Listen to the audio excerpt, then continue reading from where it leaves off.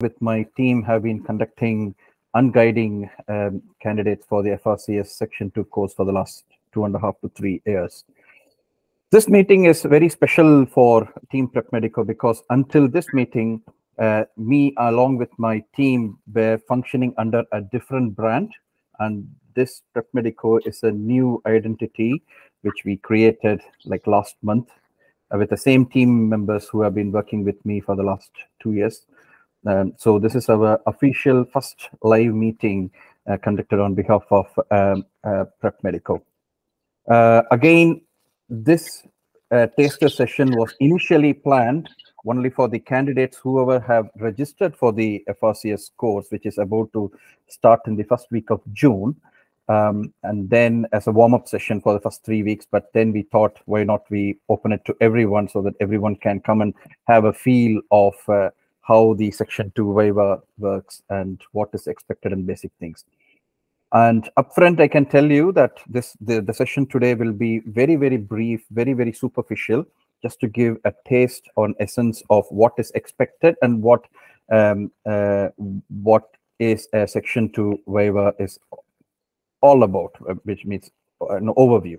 So what I have done is um, I have taken some 10 scenarios um, to go through with you all. And all 10 scenarios are very basic scenarios. I'm not going to be uh, taking you in depth in terms of knowledge. Uh, don't worry about whether you know or not, but try to participate, volunteer, ask your queries and stuff. Um, and uh, uh if time permits, means I'm having 10 scenarios, but I'm not going to be strict with the timings. Um, and uh, probably we will wind up somewhere around 9.30 in the night. So until then, whatever sessions we could do, we will do it. Okay, so let me start my slides. I have some introductory slides before we start on the um, viva per se. Let me put it on. Uh,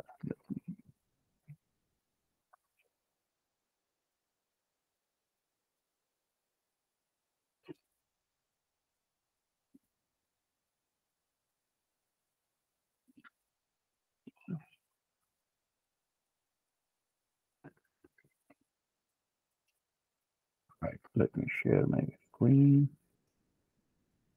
Oh, sorry.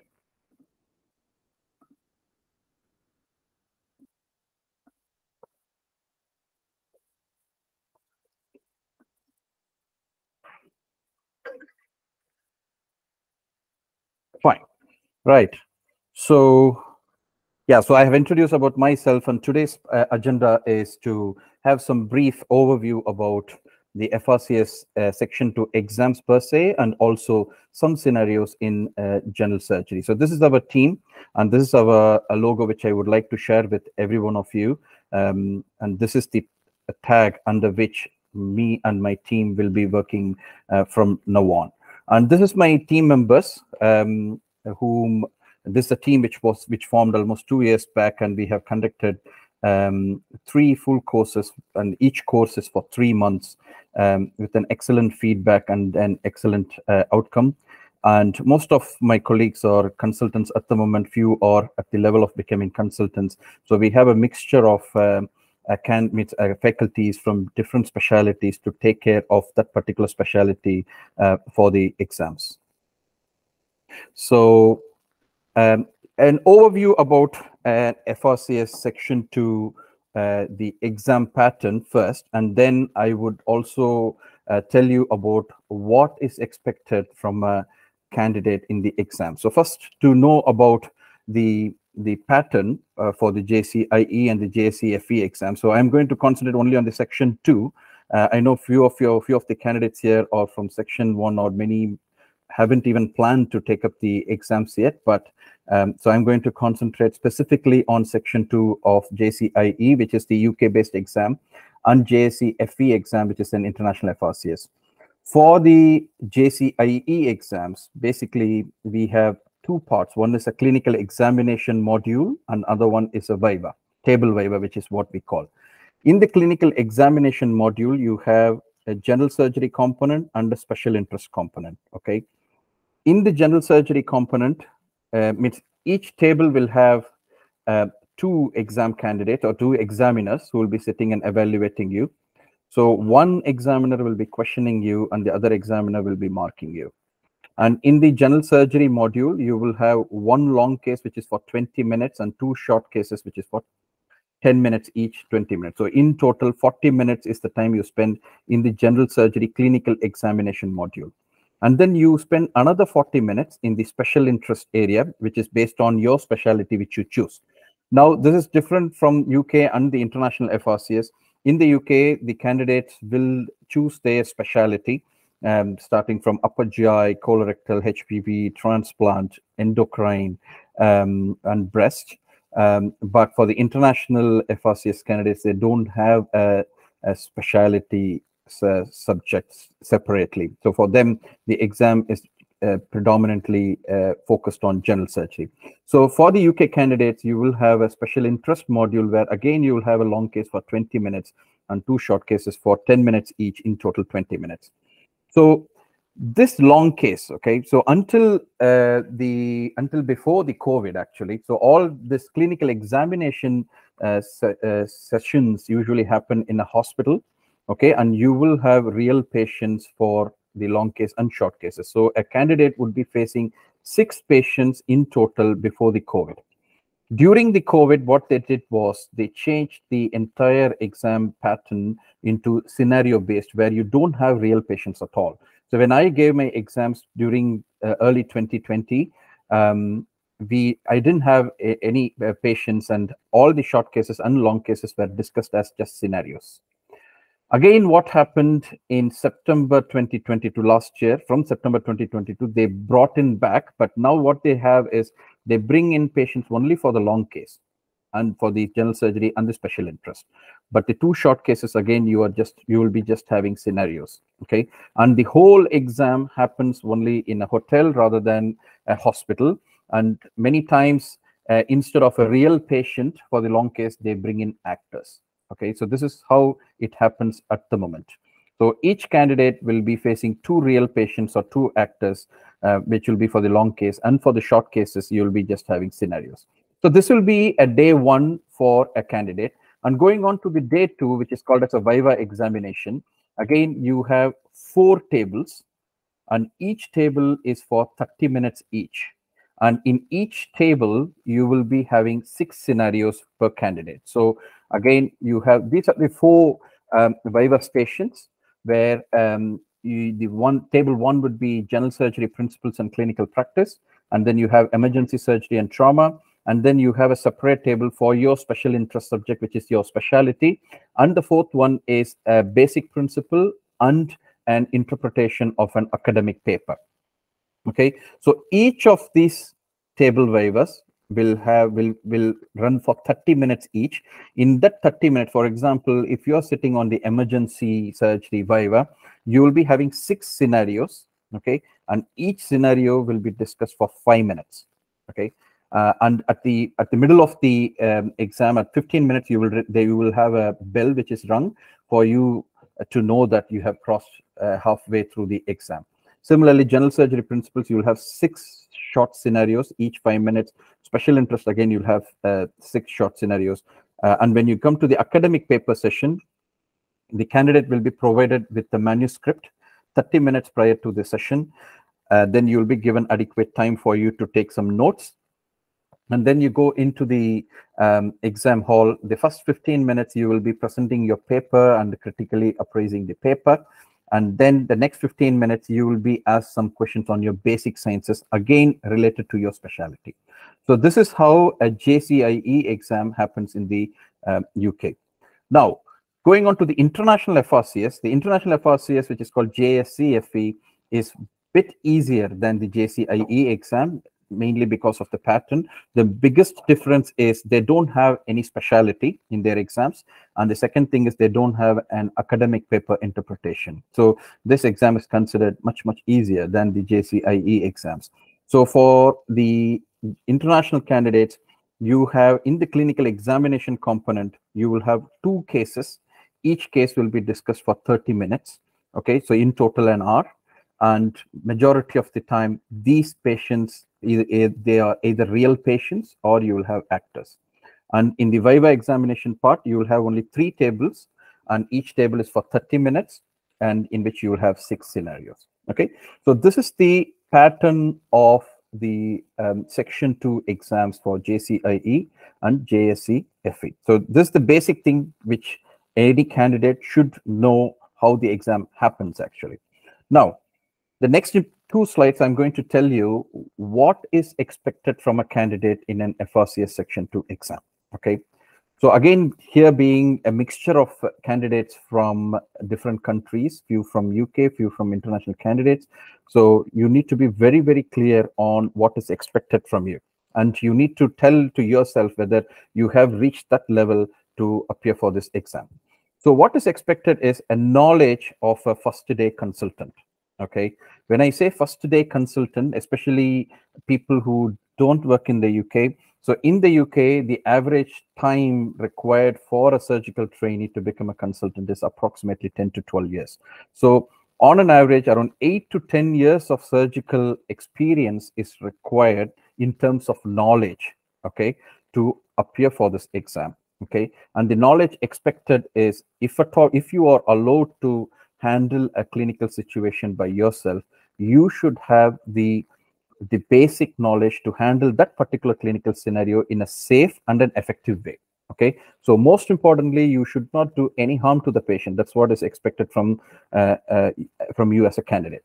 And most of these exam scenarios or the vivas usually happen in a way that uh, the discussion will be like you discussing with a colleague consultant rather than a real exam where an examiner is questioning a, an, a candidate okay so they will put up a, a, a complex scenario to you and they will assess how you argue with the examiner and come to a conclusion. This is what uh, actually happens in the uh, exam. Okay. And majority of the time, they the examiners also will treat you like their own colleague okay? Unlike the mrcs exams where the examiner will ask you and you answer this is not like that. So the the examiner will treat you like a colleague and they will help you okay? So this is exactly like say you, when you are a treating physician and you have a problem you go and discuss with the physician you go discuss with the radiologist or you call your friend and discuss a clinical scenario. Exactly the same way the exam also runs okay? So they won't put a very straightforward scenario for you to select okay this is the treatment and you go forward. No. So most of the scenarios will have two or three outcomes or two or three pathways through which a patient can travel and they judge how you uh, prioritize which path in which the patient has to go in that particular scenario. That is what they do. And the markings for a candidate is based on how you think okay? What is expected is they expect a high order thinking. When i say high order thinking so a candidate to meet candidate in response to a particular scenario should think of all the possibilities which could happen. For example, say you have a patient who has undergone a, a, a, major surgery and day one patient has a decreased urine output, okay? Or say day one patient is having low blood pressure, okay? So as a surgeon, obviously we will think of, okay, patient is having bleeding, so this could be the reason. But what is expected there is you need to think uh, about the patient in a global way, thinking about all the possibilities which could happen in this patient. Okay, for example, in that particular scenario, uh, the response from a candidate, uh, what is expected is, okay, the the hypotension on day one could be of multiple reasons. It could be a medical cause or a surgical cause. The most common things are the surgical cause where patient could have, have bleeding or low, um, what to say, a patient could have had an MI or patient could have had a decreased, um, uh, um, what to say, hypovolemia and things like that. So what is expected is a high order thinking under global thinking. The second thing what is uh, assessed is the process, the process uh, at which um, means the, the way you react to a scenario rather than um, telling a correct answer okay? So you need to argue with the examiner in a way that what is appropriate in that particular situation. So majority of the time you may not have a correct scenario or a correct um, answer for a particular scenario okay? So it is basically an argument with the examiner and as I told, there is always, there is no single right answer for most of the questions. And as I told, you will have a real patience from, uh, from your future exams. And continuing on that, most of the scenarios are usually built from a very easy question to start with and goes with goes to the last few questions, which will be very, very difficult. So the general, in general, the first two or three questions is very, very easy, and most of you would know, and you need to concentrate or you need to deliver your answers in a way that these first three or four questions, um, you should utilize the opportunity to impress the exam examiner by uh, exposing your maturity, your knowledge uh, on that particular field.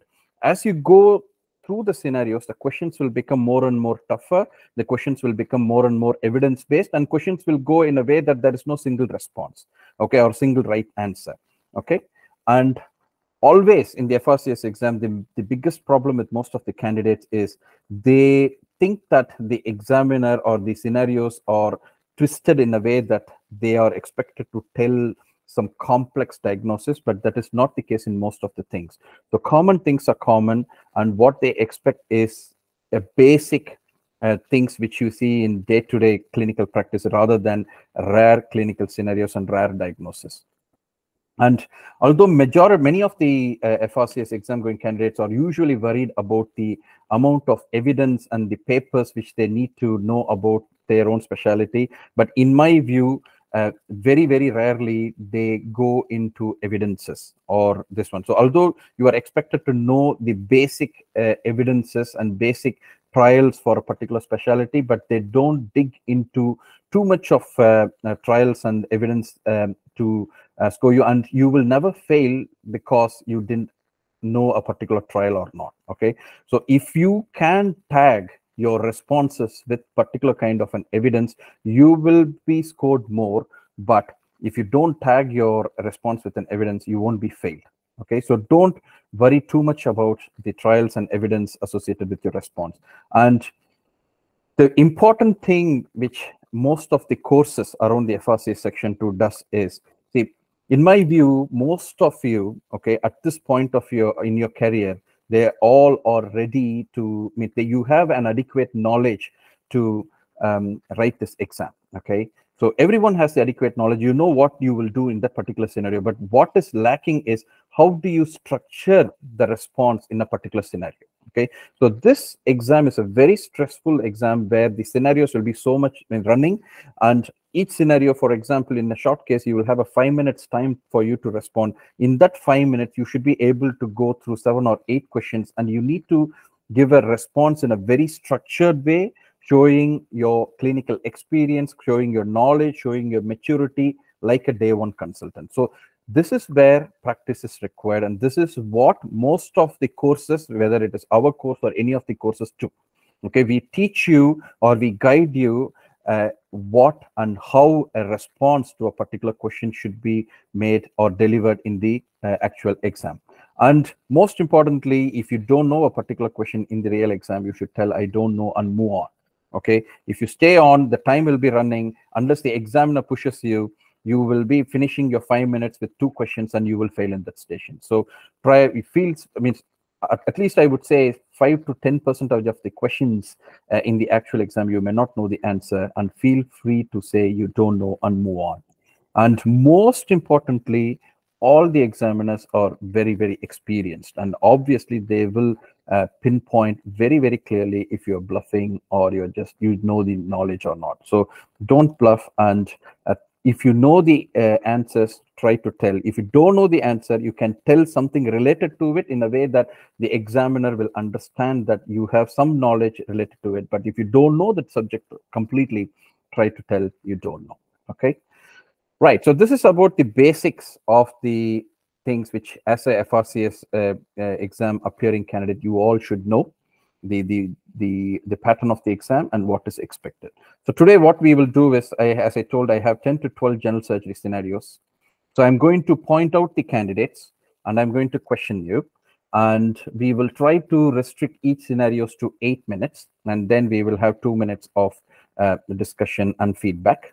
I request just the allocated candidate to answer. The others can put your queries in your chat box or you can raise your hands and we can discuss and if possible try to keep your camera on and as i told don't worry if you don't know okay it is just uh, for you to understand and realize how exactly the exam happens all right So what I'm going to do now is I'm going to stop sharing my screen. Now I'm going to call the candidates and let us start. Right. So who wants to go first? Okay, Ben. Right. Let me go close this. I'll open my scenarios. So, so far, any queries, any questions from anyone until this moment? No? Are you clear so far? Right. Okay. So, Ben. Yeah. So, you are the general surgery consultant on call. You have started working from today. Okay. And you're doing your first clinic today. And you have a patient, okay, who is coming to you with an incisional hernia. Okay. And patient has been referred to you for consideration of a hernia repair. Okay. So you have taken all the history and you see that patient has been taking warfarin for uh, a recurrent PE in the past. Okay. Patient doesn't have any other comorbidities. Okay. Patient is fit and well. Okay. How are you going to deal the situation? Okay, so first thing is I want to know some basic things about them, their, their age, Mm-hmm. uh, their gender. um, I would like to know um, early on what the operation was Mhm. and where it was. Mhm. Um, so there's no comorbidities and no Mhm. other medications, but um, allergies. Um, and I suppose there's something in the background, basic thing I'd like to know if, um, if they have um, religious um, beliefs or anything, something just because of biological mesh. Mhm. Um, but um, so once I know what their operation is, can I know Mhm. that now or or not? So this patient has had a previous laparotomy for hysterectomy. Okay. Like five years back. Okay. And patient didn't have any problems in the postoperative period. Uh, was doing fine. And then for the last two years, patient started knowing, uh, noticing a swelling in the abdominal wall in his in her previous scar. Other than that, patient, none of your questions, patient had any problems. Patient Okay. No, no change in bowel habit, no, No. constipation, or or um, any feeling of the hernia No. getting stuck or or pain or anything like that. No. Okay. Patient is having symptoms related to this hernia. Okay. Patient is having some discomfort whenever she works. Okay. Um, and I assume it's a lower midline only, not the full. Yeah. Yeah. So, um, and sorry, what age is she? 62 years. And what does she do for work? She she says she's a housewife. Okay, 62. yeah, so full history and examination, Look, looking at the scar, um, trying to determine the size of the defect. Okay, so those things are done, and you think hmm. that this patient is suitable for a primary, not a primary, means a hernia, open hernia repair with mesh. That's your plan. Okay. Now that this is a, a, a peculiar situation where this patient is on warfarin for a hmm. recurrent PE in the past. Okay. So how are you going to manage this perioperatively? Uh, the perioperative planning is very important, obviously, because uh, warfarin is an anticoagulant and there is a Mhm. risk of bleeding and postoperative complications. Um, we also have to be uh, aware that uh, there's also a, a risk of patient developing uh, thromboembolic events, DVT and, and pulmonary embolus, of course, during the perioperative period if warfarin is stopped. So one of the first things I would be doing is um, other than checking for anesthetic fitness and the surgical planning would of course be uh, uh, discussing with her, the patient's local anticoagulation team, anticoagulation clinic, and Mhm. asking for a bridging plan. Mhm. Um, uh, we'd be asking for a bridging plan, but knowing that uh, multiple PEs uh, is likely to be um, a indication for lifelong warfarin. Um, so uh, my general feeling would be that they would probably come back to say uh, to stop warfarin um, and to start a, um, a um, low molecular weight Okay. hep- So heparin which- or some other scenario- heparin. In which clinical scenarios you you would consider bridging low molecular heparin for warfarin? uh, it depends on the the risk of bleeding, the magnitude of the operation, Mhm. um, uh, the, uh, the risk the risk of, of bleeding, as I said, versus the risk of stopping it. Uh, of course, um, the risk of stopping it would be potentially life-threatening pulmonary embolus again. Okay. Um, so I think in the instance of an incisional hernia repair, No, my, open, my question is then yes. which clinical scenarios, apart from recurrent PE, where you will strongly consider bridging warfarin with low molecular weight heparin? Okay. So and immediately I'll think about metallic heart valves, Mhm. um, Starr-Edwards, um, or um, patients with other devices. Some people have ca- cardiac devices, patent foramen ovale, Mhm. um, are known inherited um, thrombophilias. Fine, that's okay. That's fine. So, can you name some hypercoagulable conditions? Yes, um, hypercoagulable conditions uh, inherited would be protein C, protein S deficiency, um, and um, patients with grafts or in, intravascular devices.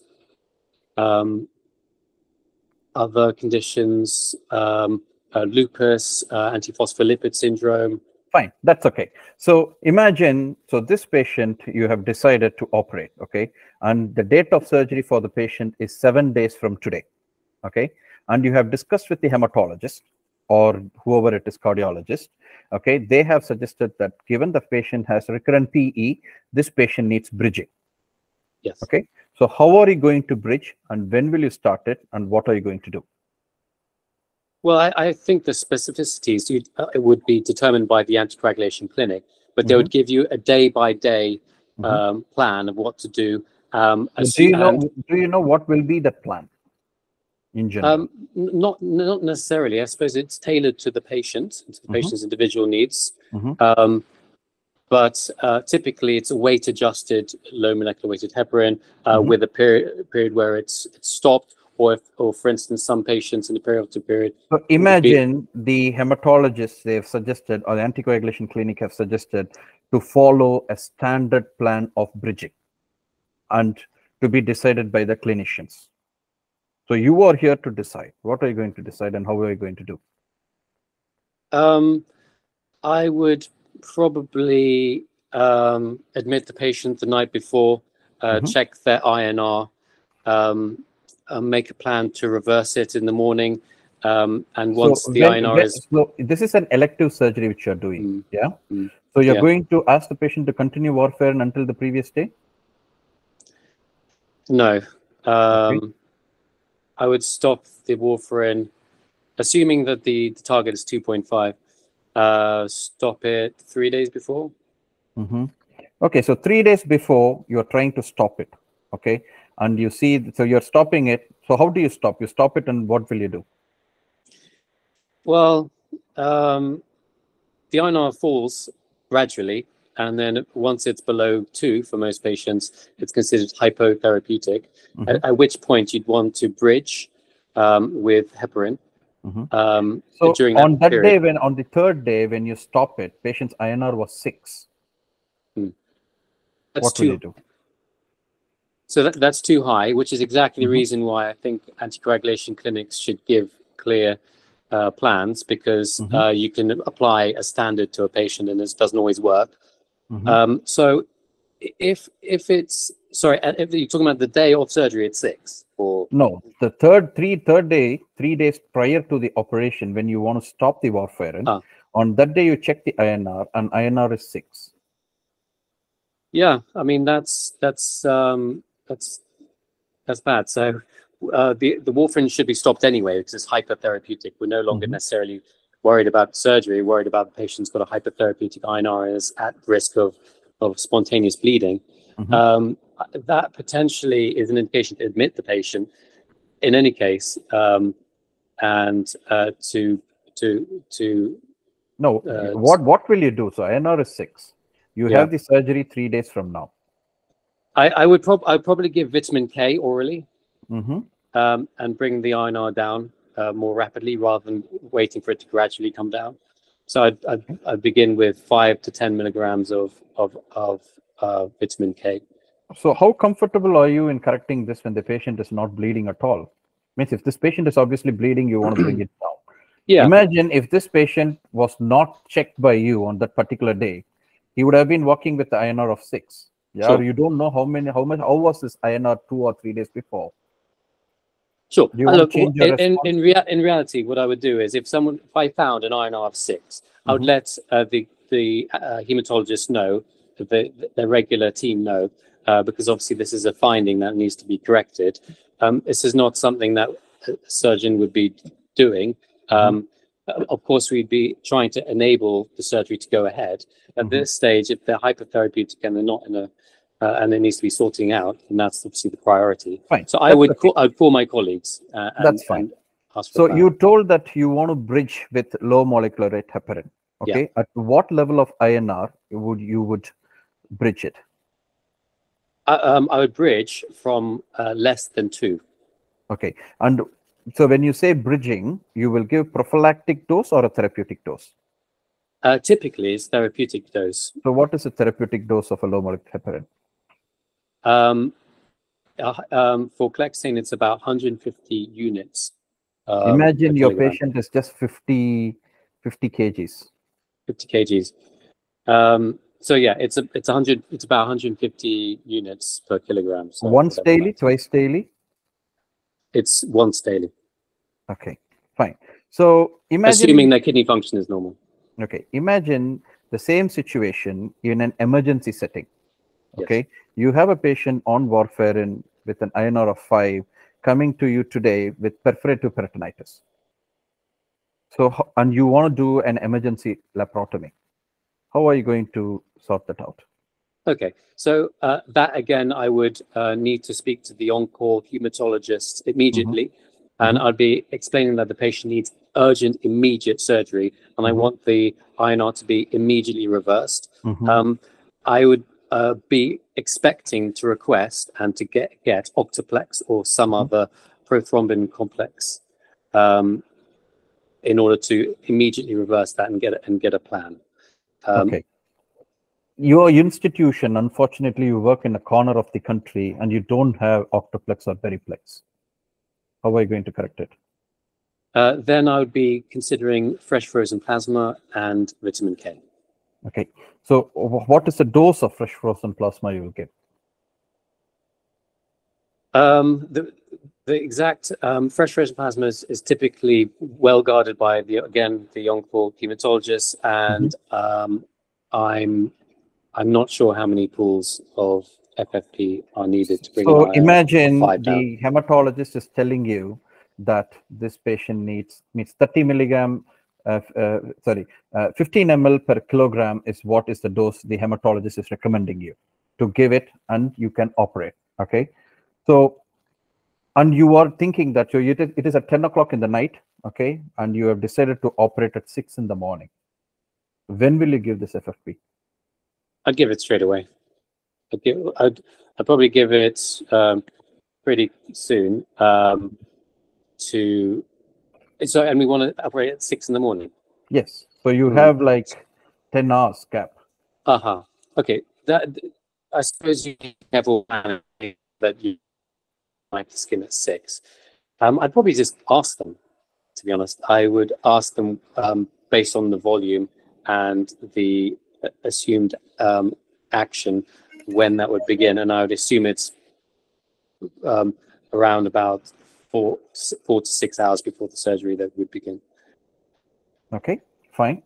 So instead of warfarin, imagine this patient is taking rivaroxaban, okay, for the same recurrent PE. Okay, how will be your management different from the one uh, patient who's taking warfarin? Yeah. Um, that's different because there is a um, what, what agent did you say it was? Rivaroxaban. Rivaroxaban. Um, Rivaroxaban, I think, has a reversal agent. Mhm. Um, well, But the bigger, How will you know? So for, for warfarin, you know that you will check with INR. Yeah. Yeah. For rivaroxaban, what do you check? Do you check INR or something else? Um, Rivaroxaban, um, you can't check. There, there's no specific marker. Are you sure? Uh, um, yeah. But how do you correct it then? So this patient, patient on rivaroxaban coming this evening, okay, it has taken his dose this morning, and patient Yeah. has perforative peritonitis. Yeah. How will you so- know that this patient is bleeding, it's procoagulable or hypocoagulable? Um, I'm not sure how you can tell how strong the rivaroxaban is from a blood test. Okay, fine. So imagine you have a patient, okay, who is taking anticoagulants for atrial fibrillation. Yeah. Okay. And this particular patient has um, undergone a Whipple operation. Okay. Whipple operation, and it's one week now. Patient is ready to go home. Okay. So you are deciding, you are checking, if you are not, as a surgeon, you are not comfortable to start the patient again on anticoagulant straight away. Okay. But at the same time, these patients are at risk of developing a clot, right atrial clot and stroke. Are you aware of any scoring systems which can predict what is the risk of stroke in a patient with atrial fibrillation on anticoagulants? Yeah. Um, I, I believe it's the CHADS 2 score. hmm Um, they, there are different CHADS 2 scores. Mm-hmm. Um, um, there's the CHADS 2 VASC score Okay. also. Um, but essentially, it, That's okay. So what is HAS-BLED score? say again, Has blood. has blood score. I'm not familiar with it. Okay, fine. We'll stop here. Okay. How did you do? Um, I would say mm, mm, badly. Means you, you means I would say you did well actually. It means at least for a beginner to start this one, you know, the one thing which I want to tell is this is exactly how the actual exam happens. The, the thing is you need to understand that the, the you need to understand what is the scenario first. Okay. The obviously the scenario is to test your knowledge on the perioperative anticoagulation management in complex patient like this. And you cannot be dwelling around here and there asking what is what my anticoagulation clinic will tell this so you can add a line but you are expected to know the knowledge on that of what is expected. Similarly from the beginning itself okay from the beginning itself you should know that given that this scenario is to test your knowledge on anticoagulation you should not waste time asking for what surgery what incision uh, whether the patient is male or female. Or you need to tell a simple line. I would get a focused history from the patient asking for this this this this this and uh, if patient is fine i will go ahead with surgery. Okay? So so again that clue how you will pick up is when you ask these questions the examiner will try to stop you now and then and tell that okay fine okay fine okay fine what next? Okay then you need to understand that this is a situation where the, you are expected to go on further and manage this. Okay? Yeah. so this is a very very so to others okay to others this is a very common scenario which we face in uh, the clinical practice. Okay patient on oral anticoagulants patient um, with metallic valves and stuff. And the knowledge which is expected uh, from you guys is which are the situations where a patient should be anticoagulated? Okay in which situation bridging therapy is needed which situation bridging therapy is not required and whom to contact? Obviously like ben told you need to speak to the anticoagulation clinic or the hematologist to check how you stop and how you bridge okay? And usually warfarin is expected to be stopped five days prior to the operation okay? While all other anticoagulants rivaroxaban or apixaban or dabigatran can be stopped 48 hours prior to the operation okay? And um, usually the all the novel anticoagulants can be restarted 24 to 48 hours after the operation okay and for warfarin alone you have this bridging plan for all others. Uh, unless the patient is bleeding you don't worry about it and you go ahead and plan your operation. If at all if you want to check what is the anticoagulation um, situation when the patient is on novel anticoagulants you need to do anti-factor 10a levels. Okay? So anti-factor 10a levels is one of the common uh, investigations which we do in various scenarios. For example from the in the liver transplant setting yeah so uh, we will uh, so two things which we look for one is the thromboelastogram okay patient in the post uh, transplant setting patient who is bleeding we'll try to do thromboelastogram to see what is actually lacking in the coagulation cascade and that will allow us to pick up a particular product, whether it's an FFP or a cryoprecipitate or give a fibrinogen or a blood to correct the coagulation. And the other thing which we give to check is the uh, to see whether the anticoagulation is adequate. If you want to see, for example, patient who has developed a hepatic artery thrombosis or patient who had a portal vein thrombosis, and when we are trying to therapeutically anticoagulate them, we try to see anti-factor 10A levels to see whether they are adequately anticoagulated or not. Okay, so this is the levels which you need to know. And um, yeah, so FFP usually just works for six hours. Okay, so you need to give six hours prior to the operation, and the dose of FFP is 15 milligram per kilogram. Okay, the problem with correcting FFP, I mean, correcting coagulation with FFP is you need to give a large volume of dose to correct it. Okay, with the risk of hypervolemia. And the other common things which they can ask is when you give, when will you give Beriplex? Okay, and when does the action of Beriplex or Octaplex, Octo, Octaplex start? It's just 10 to 15 minutes. Okay, you give Beriplex in 15 minutes time, the INR usually gets reversed. So generally, what we tend to do is we give Beriplex and transfer the patient to theater, and when we and we operate. Okay, so this is what we do. Okay, uh, this is some overview about anticoagulation in the perioperative period. Okay, any questions? No. Okay fine. Let us move on to uh, a next scenario. Who want to take next? Okay, Hamza Ari uh, Arabiat. Yeah, you can unmute yourself, Hamza. Yes. Right, Hamza. So again, you so you are a consultant on call, okay, and you are planning to do an hemithyroidectomy okay, in a patient with solitary nodule thyroid. Okay.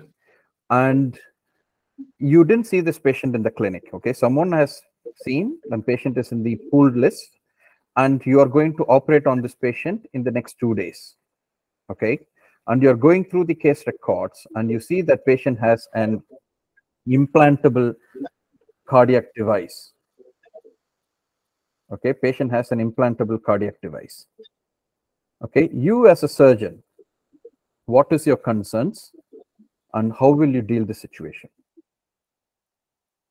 Okay, uh, first of all, I will uh, uh, check with the patient regarding the previous history of the patient and the indication for surgery, the exact indication for the surgery, and take a brief history or focused history about his performance status and his uh, uh, there's any uh, comorbidities and his cardiac. All these things are done. History. All these things are done except for the cardiac problem for which the patient has a cardiac yes. device. Patient doesn't have any problems. So I will ask the patient if, uh, regarding his cardiac history in details and why in the indication for that uh, device, which is mostly mm -hmm. the uh, uh, pacemakers, and if, he, if he's on any anticoagulation or uh, uh, uh and when was the last time uh, he he saw, he saw his cardiologist, and I will uh, actually contact with his cardiologist for more details regarding his condition and see the indication for his the device that he's in. Fine. So, so, the patient is coming to you. You ask the patient about this cardiac device, and patient says that I am not sure about what I have, and patient just says that I had some cardiac problem three years back, and doctor said put this. That's all she knows. How are you going to collect the information on what is it, why is it put for, and things like that? How will you know? Uh, I, I think uh, uh, I'm not sure, but I think the information will be by his cardiologist. I will contact the cardiologist, the previous letters. And how easy how easy it is to speak to a cardiologist when you have a surgery in two days' time? So most probably I Fine. will. My, uh, my question, my indirect question is: Is there any other way to identify or know the details of these things? I don't know. I'm sorry. What is what is an ICD passport?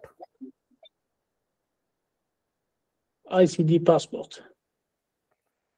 Uh, I'm not sure. I read okay, it in section fine. one, but so, I, I so, so in your in your uh, preoperative assessment, they have just put as implantable cardiac device. Okay, what are all the possible implantable cardiac device you are aware of?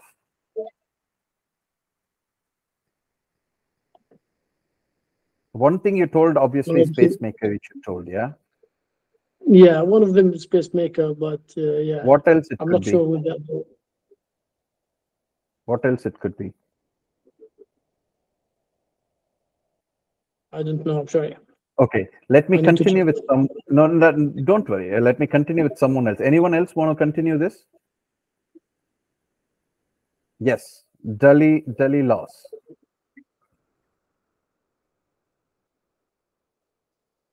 Yes, sir. What else it could be apart from pacemaker?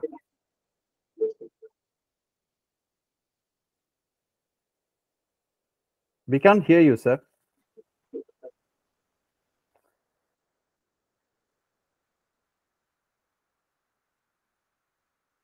No, unfortunately, we can't hear you. There is some problem with your mic, probably. Let me continue with Mahmoud Mutavia. Yes, Mahmoud. Yeah, so um, the um, other ICD device is the, is the implantable defibs. Okay, what else it could be? So it could be pacemaker or implantable defibrillator. What's the third one? Um, pacemaker, defibrillator. Um, um, does IVC filter fill or uh, considered one? Do you think I, do you think IVC filter will be kept on the chest wall? It's, no. No. Okay. Okay, fine. Right. So imagine this. So what is what is the passport which I told? Are you aware of that? Yeah, the passport is uh, is a uh, like a card given to the patient with the details of the uh, of the device and what it does and if it is diathermy friendly or not, uh, which is the most relevant uh, thing for us as surgeons. Um, and of obviously the manufacturer and links to the more details about the device and contacting the company if it needs reprogramming or anything like that. That's fine. Okay. eh, So now you have seen this passport, and the passport says that patient is having pacemaker. Mhm. Okay, and it says a particular company. Okay, and it was uh, checked recently, and everything is fine. Okay. Mhm. So what are you going to do now? Uh, well, I want to know if if it is diathermy friendly or not. Mhm. Uh, Okay. so imagine that it is diathermy unfriendly. It's not friendly to diathermy. uh, then I will probably use harmonic or any uh, any energy device that doesn't use uh, uh, mechanical ultrasound energy um, uh, uh, energy device. Do you think that you can just you can do a hemithyroidectomy with this ultrasonic device, making a skin incision and going and dissecting and taking it out? Um, I can use bipolar Mhm. if if necessary. I can I can use bipolar beside the ultrasound. And have you ever done a full surgery with a bipolar forceps? Uh, well, uh, not this kind of surgery, not in neck surgery, but uh, the other the other option is to contact the company and um, ask them for help to uh, un uh, to um, uh, reprogram the device or disable the device during the surgery and return it uh, to uh, its normal activity afterwards. So, if you disable this pacemaker, what will happen to the heart? uh, we will have to bridge with uh, with another way of pacing the heart, and one of these is transjugular, for example, transjugular uh, pacemaker. Well, I'm not sure if this will be a uh, a good plan or not. I will have to discuss with cardiology, of course. So, do you Or think keeping a, a transjugular pacing wires or something is it, is it any anywhere different from the pacemaker? Uh, I'm not entirely sure, but having uh, having the pacing, well, I'm not entirely sure. Fine. So imagine you take this patient. Okay, what what other precautions you will take when you operate on a patient with pacemaker?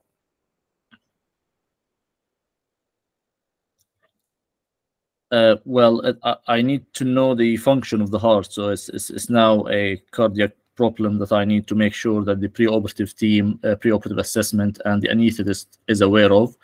Um, and if it is a very high risk, I have to possibly reconsider the decision to surgery uh, if if if is if is very high risk for surgery and the nodule is can be managed by any sort of uh, minimally invasive or ablation. If at all, if at all you you cannot operate without a diathermy, okay, Mhm. how will you use diathermy in a patient with pacemaker?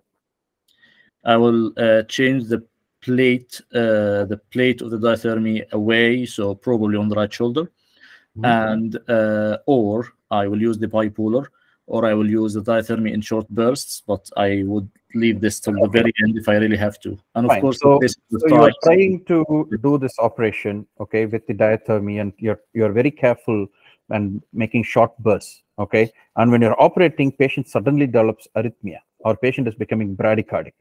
Mhm. What will you do? Uh, well, I will uh, first of all uh, remove anything from the surgical field. Uh, Probably may need to start some sort of uh, cardiac compressions if it if if the if his uh, if his uh, the patient is very. What do you think has happened? Um, so, uh, I think the bursts of the of the electric signals of the diathermy can reprogram the uh, pacemaker and cause it to uh, move to a, a different heart rate or different. Yeah. different. So do you think by doing a CPR or something will change that? It will not change that, but if his heart rate is 40, 30, he's technically arrested. So I am. My, uh, yeah, my question is, how are you going to correct this abnormally functioning pacemaker? Uh, I believe there should be a device that will be in theater to reprogram the pacemaker if it misbehaves, and this is basically why we we contact the company before the surgery. I haven't been in a similar situation before, but this is from my um, readings and knowledge. Imagine if this is a big laparotomy which you're planning. You're planning to do a Whipple operation in a patient with uh, pacemaker. How will be your planning different from what you have told? Um, I think we will have to. Uh, mm, I mean, the diathermy will be very important. It will be Mhm. indispensable in this surgery. So I will ensure that uh, we have all the devices and all the programming devices.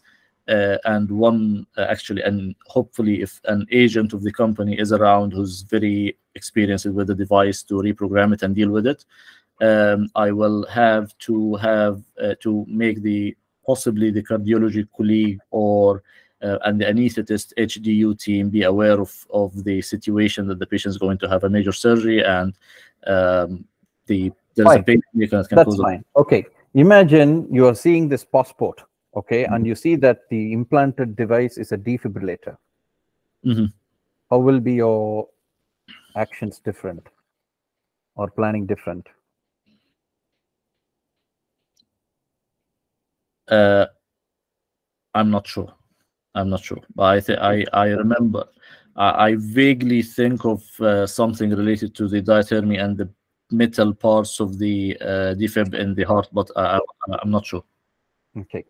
So Ben, you wanna continue? You wanna answer this? Um, I, I was gonna add that uh, I'm not sure if it mentioned, but instead of sort of turning it off, you can turn, you can put it on the the pacemaker onto asynchronous mode, which is when it doesn't. Most pacemakers only kick in when it uh, the heart rate falls below a certain level, for instance, 60, let's say, or 50. Yeah. Um, and the an engineer can come, typically even out of hours, um, to come and a receive the history from the pacemaker, get a some degree of telemetry if there's been problems or it's uh, you know, and and that infers ITU and the anesthetic team, uh, but also can put it into the mode where it just does its job and it doesn't listen or hear uh, any other electrical activity. Um, Yeah. And So it keeps imagine, and, and the ECG will be 60 beats. Yeah. Yeah, a- as I told Ben, so imagine you have not changed this mode and you thought that you will escape by doing a bipolar forceps and stuff. And you are doing, how safe is bipolar in a patient with pacemaker? Is it 100% guaranteed that it is not going to affect the pacemaker? I think it's uh, nothing's 100%. Uh, the Mhm. electrical current uh, should go simply through the, your, the two metal tips of your forceps, and therefore, uh, but but thyroid surgery is not particularly remote from the chest wall. Um, so I would say it's higher risk in higher in, in the thyroid surgery. So it would probably be advisable to have pre-plan this. Um, yeah. My, my question is, you have not changed the mode, Yeah. you are And you're in operating, and you are we are in trouble. Yeah, a- and this is you a so- uh, you got to stop the surgery. I think uh, personally, I think you would stop the surgery And if this is. Um? And what will you do? You stop the surgery. The Oh. the pacemaker is running in a different way. Yeah. How are you going So- to stop it in emergency? So, in, uh, my understanding is that someone in intensive care also generally has the machine that can interrogate and to to do do that stuff um, with the pacemaker and put it back into a correct rhythm. And I think uh, the anest- the anesthetic team can as well. Depends how severe the situation is. If Anyone anyone else stuff. knows what is the answer for this? What else? Hmm. Okay, Sharon, Saranya. I think we can place a magnet, which we have to. Yeah. So there is a there is a magnet. Okay, there's a pacemaker magnet which is available in the theater. Whenever things goes wrong, they, you just need to place the magnet on the pacemaker. That's all, and that will change from synchronous to an asynchronous mode. Okay, that's all is needed. Okay. So Ben, can you add? What will you do? Okay, let me move on to Sharanya. Probably Sharanya, can you continue on this? So imagine if it is a defibrillator, how will be your uh, planning different from it being a pacemaker? I think the patient before surgery can be having defibrillator pads on, connecting to the system. Sorry? Can can have a defibrillator pads on. Uh, in, in case there is a problem, we can give external defibrillation to the patient. I know, but what will you do with the defibrillator machine which is implanted? We can deactivate it. Means we can or we should or in a case by case basis. Because we cannot utilize any of the energy devices in presence of defibrillation. So the Mhm. options are either we should deactivate it and we can manage the, the external defibrillation via the anesthetic um, monitoring. I- Imagine if this if this thing is basically say um, an implantable loop recorder. Mhm. You see this uh, passport and it says that it is an implanted loop recorder for the heart. What will you do? I think technically the loop recorders records the electrical heart activity and it remotely transmits it. And in conditions where we have a surgical intervention, we can potentially, because the heart rate is being monitored during the surgery, we can potentially turn off this loop recorder and substitute with the cardiac monitorization during the surgical procedure. All right. Okay. So we will stop here. Okay. We'll stop here with this. Okay. So again, this is a common scenario. Okay. Where you have patients with implantable chest device. Okay. The step one is you need to know what is this implanted uh, chest device or a cardiac device. And you will get to know this by looking at the the the passport which the which everyone has that will give you very very clearly what exactly is this device what is the name of the device what is the battery life when the next battery needs to be changed when was it last seen by a cardiac cardiac physiologist etc okay? And then the management differs upon differs based on what implantable device they have whether it's a pacemaker or it's a defibrillator or a loop recorder okay? If it is pacemaker the next question you need to know is whether the patient is dependent on pacemaker or not dependent on pacemaker okay? If the patient is not dependent on pacemaker like as ben told for example patient heart beats okay only when situation very rarely when the situation goes where patient goes into bradycardia when the pacemaker comes in. And for example for the last two years the pacemaker hasn't done much of a job then those patients are not dependent on pacemaker okay?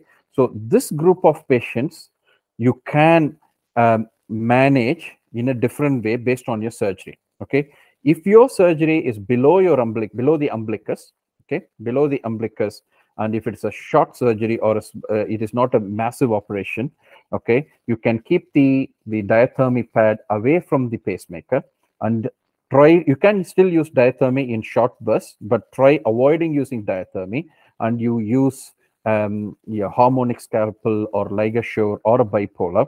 Again there is still a risk of this pacemaker going into irregular pacing and causing arrhythmias. In that situation, the anesthetist will put a magnet on the pacemaker and convert the synchronous to an asynchronous mode.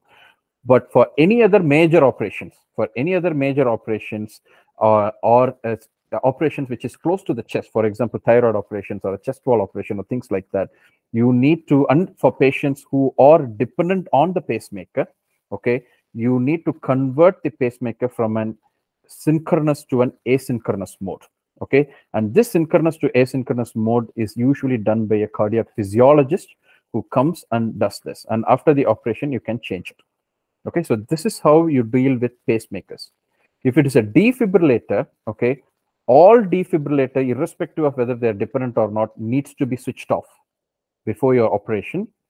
And all these patients should have a pads placed on the chest wall and ca- close cardiac monitoring and def- external defibrillation, if needed, needs to be planned. For implantable loop recorders, you don't need to do anything. Okay, you don't need to do anything. It is just a, a heart rate monitor for that. You don't need to do anything. Okay, so this is all about diathermy and this. There are plenty of other things to th- uh, go into this, but which I'm not discussing now uh, because for the uh, need of time. Any questions so far in this?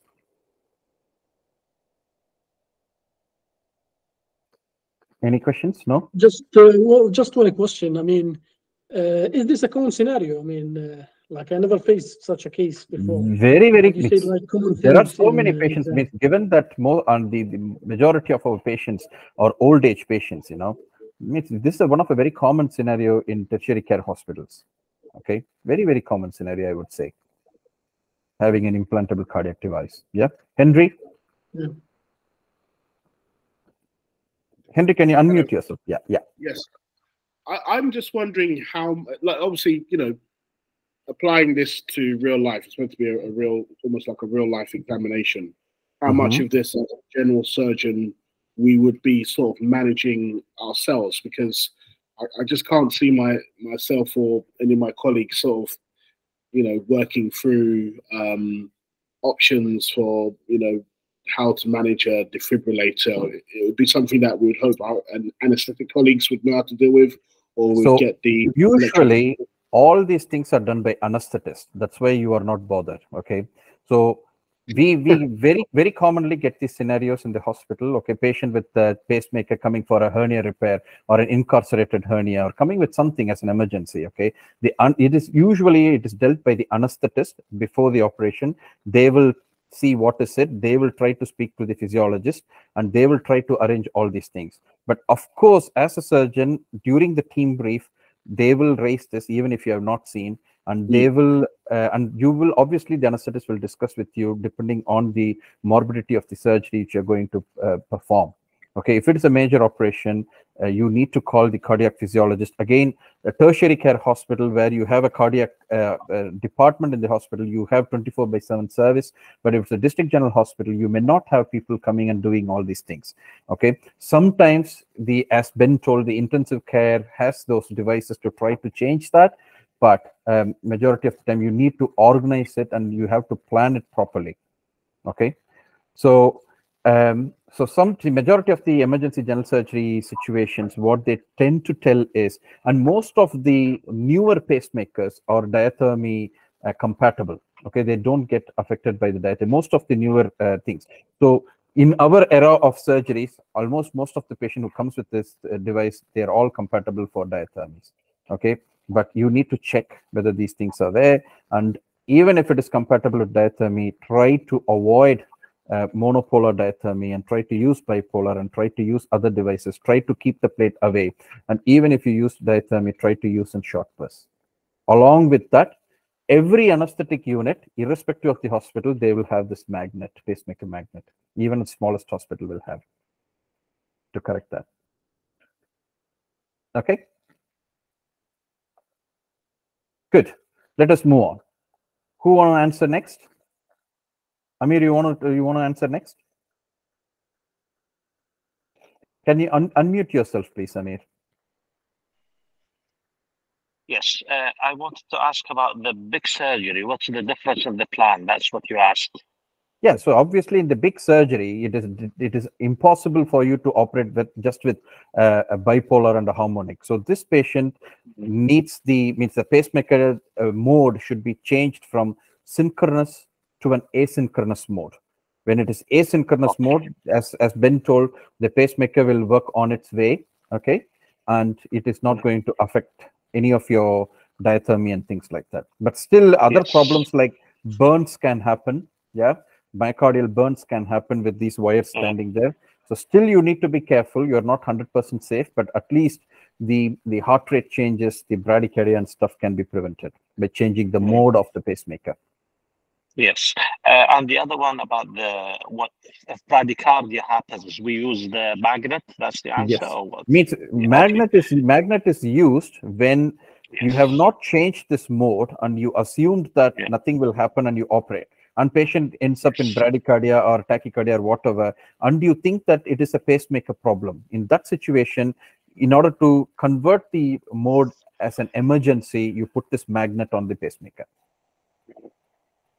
okay good let us Thank move you. on amir you want to continue you want to do the Uh, yeah Well, uh, you know, it's uh, difficult for me to speak a lot. I'm sitting in the lobby of. Uh, oh that's fine that's okay yeah, sorry. Uh, That's fine. Henry, you want to take? Can you unmute yourself, Henry? I'll give it a go. Yeah, okay. So, Henry, so you are again uh, a general surgery consultant, okay? And uh, you you have a two-year-old boy coming to your clinic, brought by the pa- the kid's dad, okay, asking for circumcision. Okay. So, how are you going to deal this? Um, am I a pediatric Yeah. surgeon? Means you are a general surgeon who has the skills to do circumcision. Who has the skills. circumcision. Yes. Um, okay, so start with the usual um, history examination. Um, I I suppose I would I would want to know if the what what the reason for the circumcision is. Mhm. Um, most sort of religious or cultural circumcisions would normally take place um, at a much younger age. You know, normally in the first few weeks or months of the child's life. So Mhm. if the dad is bringing a two-year-old uh, to me, um, that would suggest that there's perhaps a medical reason for wanting the circumcision. So, so you are trying to get this history, and the dad is telling that means we are means according to our religious customs, we want we do circumcision for all our male kids, and Okay. he is asking for a non-therapeutic circumcision based on his relig- religious and social belief.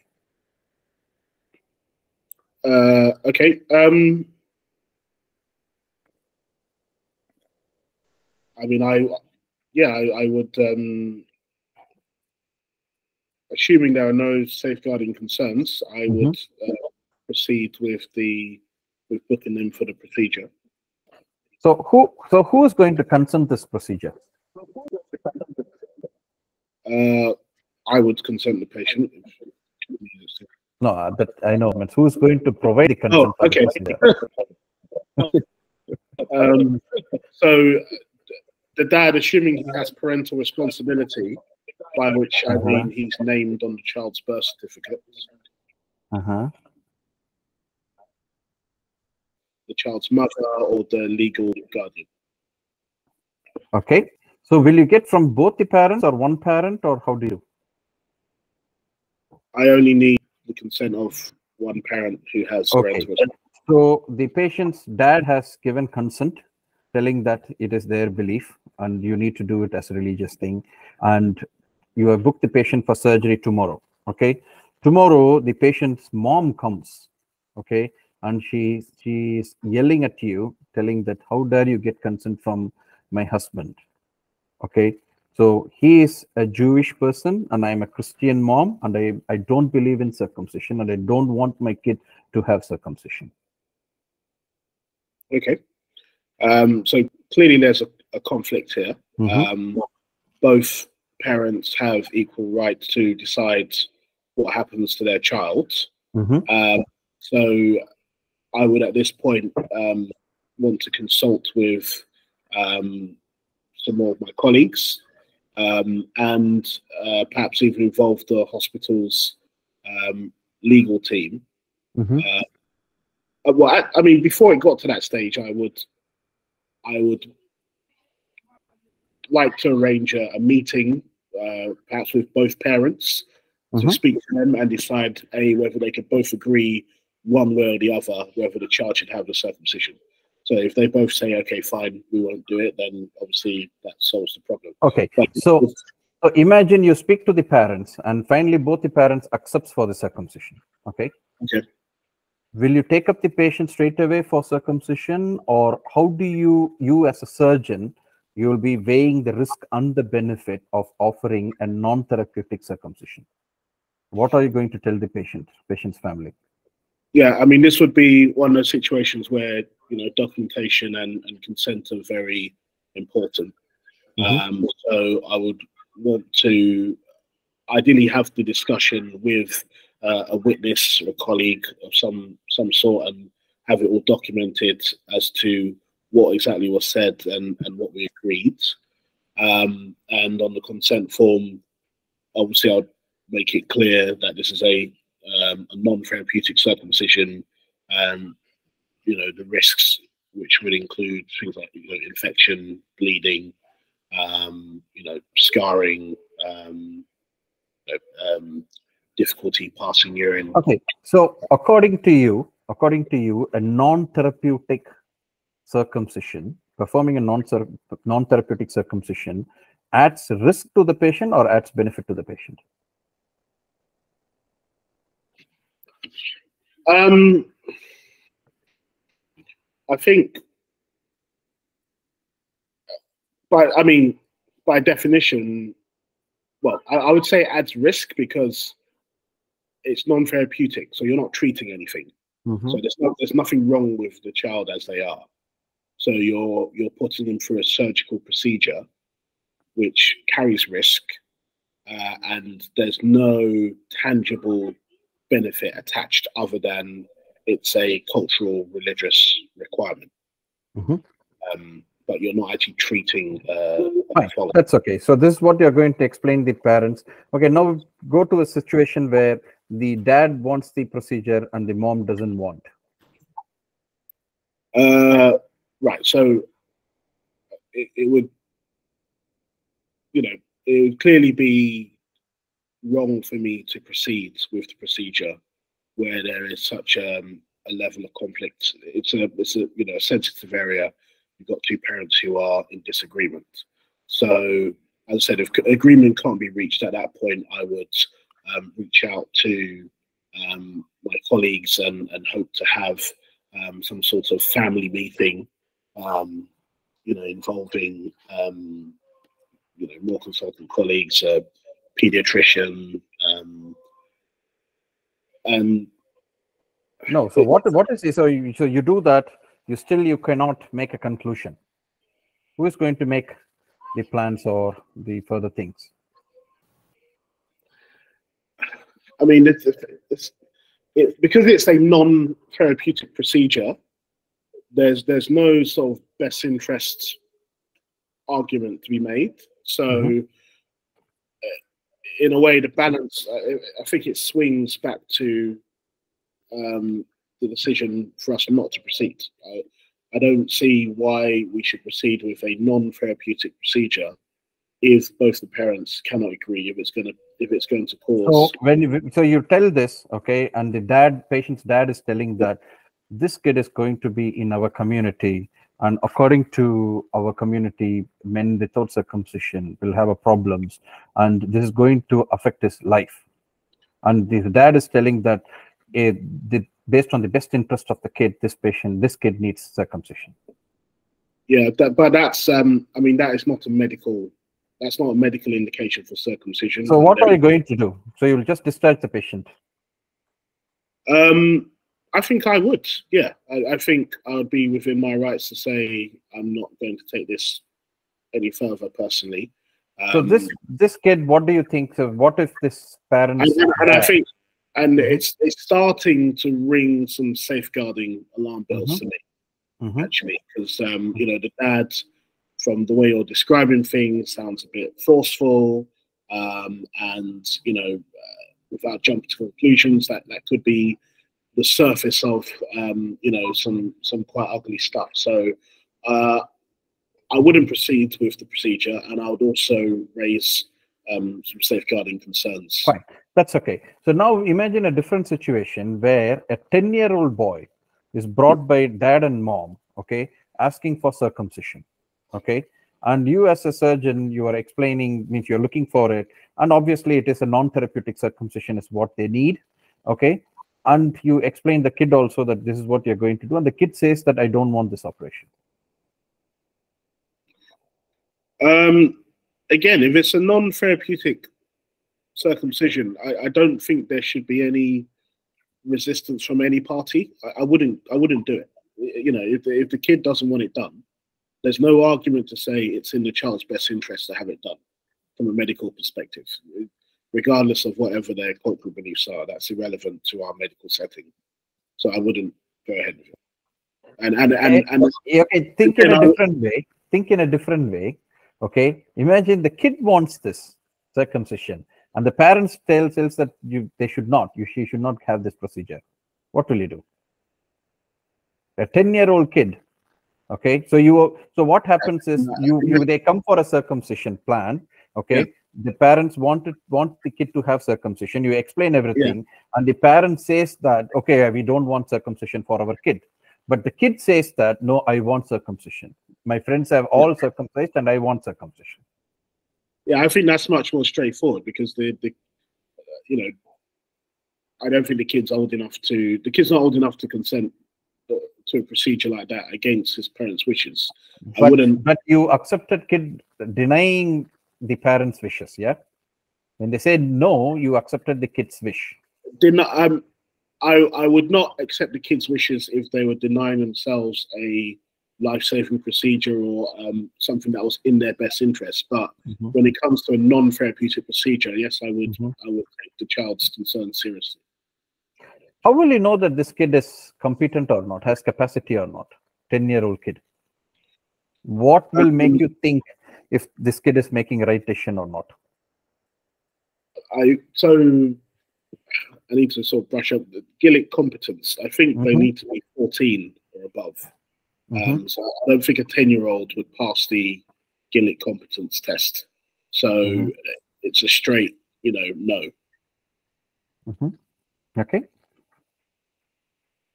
So if it is a if it's a 10 year old kid says these things, you will not listen to the kid and you will go with the parents' decision. Uh, yes, yeah, I would I would not go with the kid unless I'm wrong about the age uh, cutoff for Gillick competence. I Fine. think it's 14 What is what is IMCA? Have you ever heard about the term IMCA? uh, is it independent um, mental Yep. Capacity advocate? Yeah, very good. So, who is an independent mental capacity advocate, and when will you call him?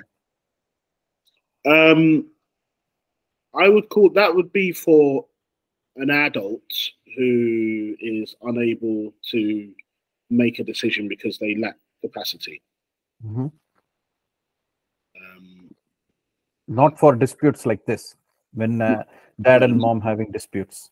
no, Okay, fine. So, what is uh, what do you understand by the Fraser guidelines? Where it is used? Fraser guidelines.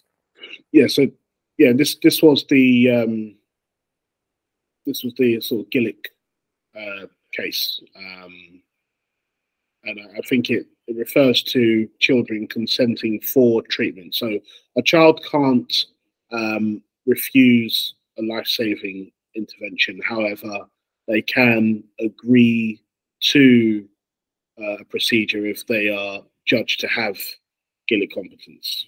Yeah, that is Gillick competence. But what is Fraser guidelines? not entirely sure. I have to. Okay, fine. We'll stop here. We'll stop here. Okay, good. So, how did you do, Henry? I think I, I quickly worked out that this had nothing to do with. No, means you, you, you did well in terms of uh, in terms of a general surgeon dealing the situation in a hospital, but the means it's not usually straightforward when it's asked in the exam. Yeah, so there are certain guidelines, okay, which is put up surrounding this circumcision, and unfortunately, circumcision is one of a very very common scenario you will be expecting in the FRCS exams. Okay, so there are various cases. So the thing is, non-therapeutic circumcision can be done in the NHS hospital. Okay, okay, be based on the best interest of the patient. When you think of the best interest of the patient, the best interest of the patient is not only clinical, but you also should consider social and religious belief of the kid. Okay. So when a kid is brought for a circumcision and when both the parents agree, okay, no worries, you go ahead and operate.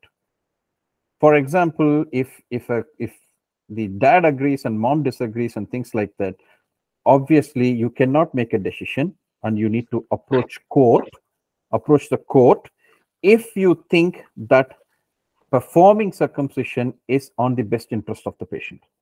Okay.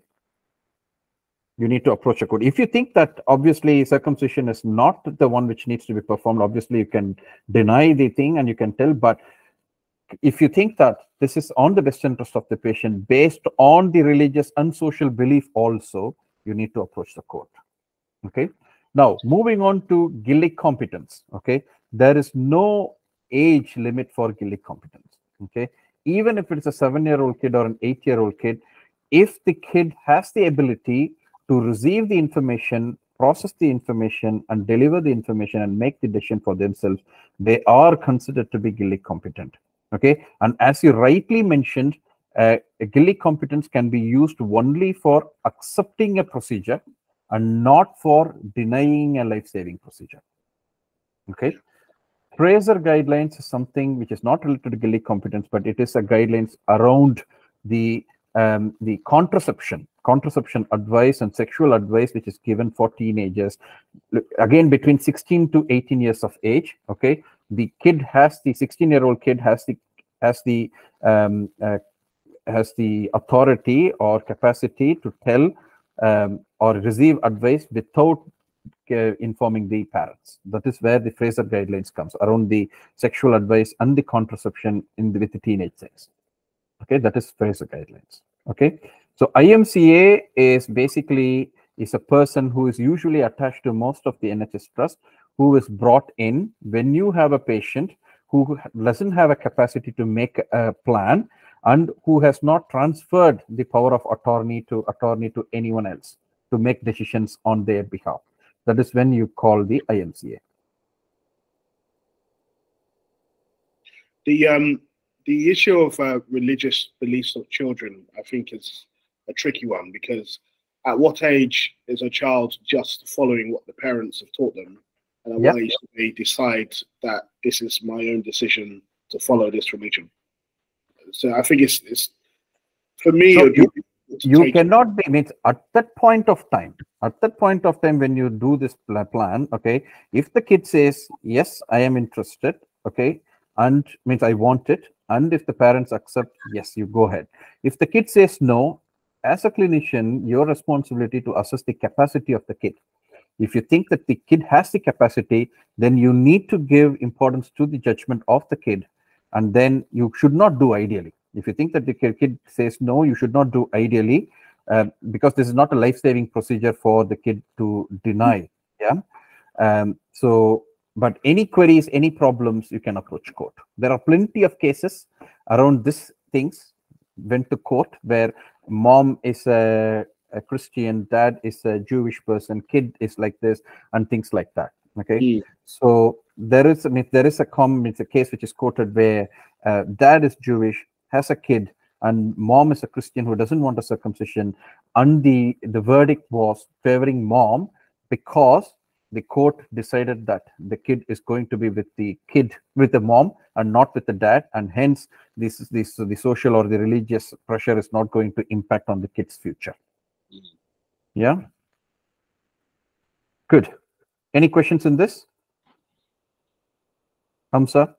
Uh, actually, it's not a question. Just yeah, in the beginning, I read somewhere that NHS is not funding for circumcision for religious purposes.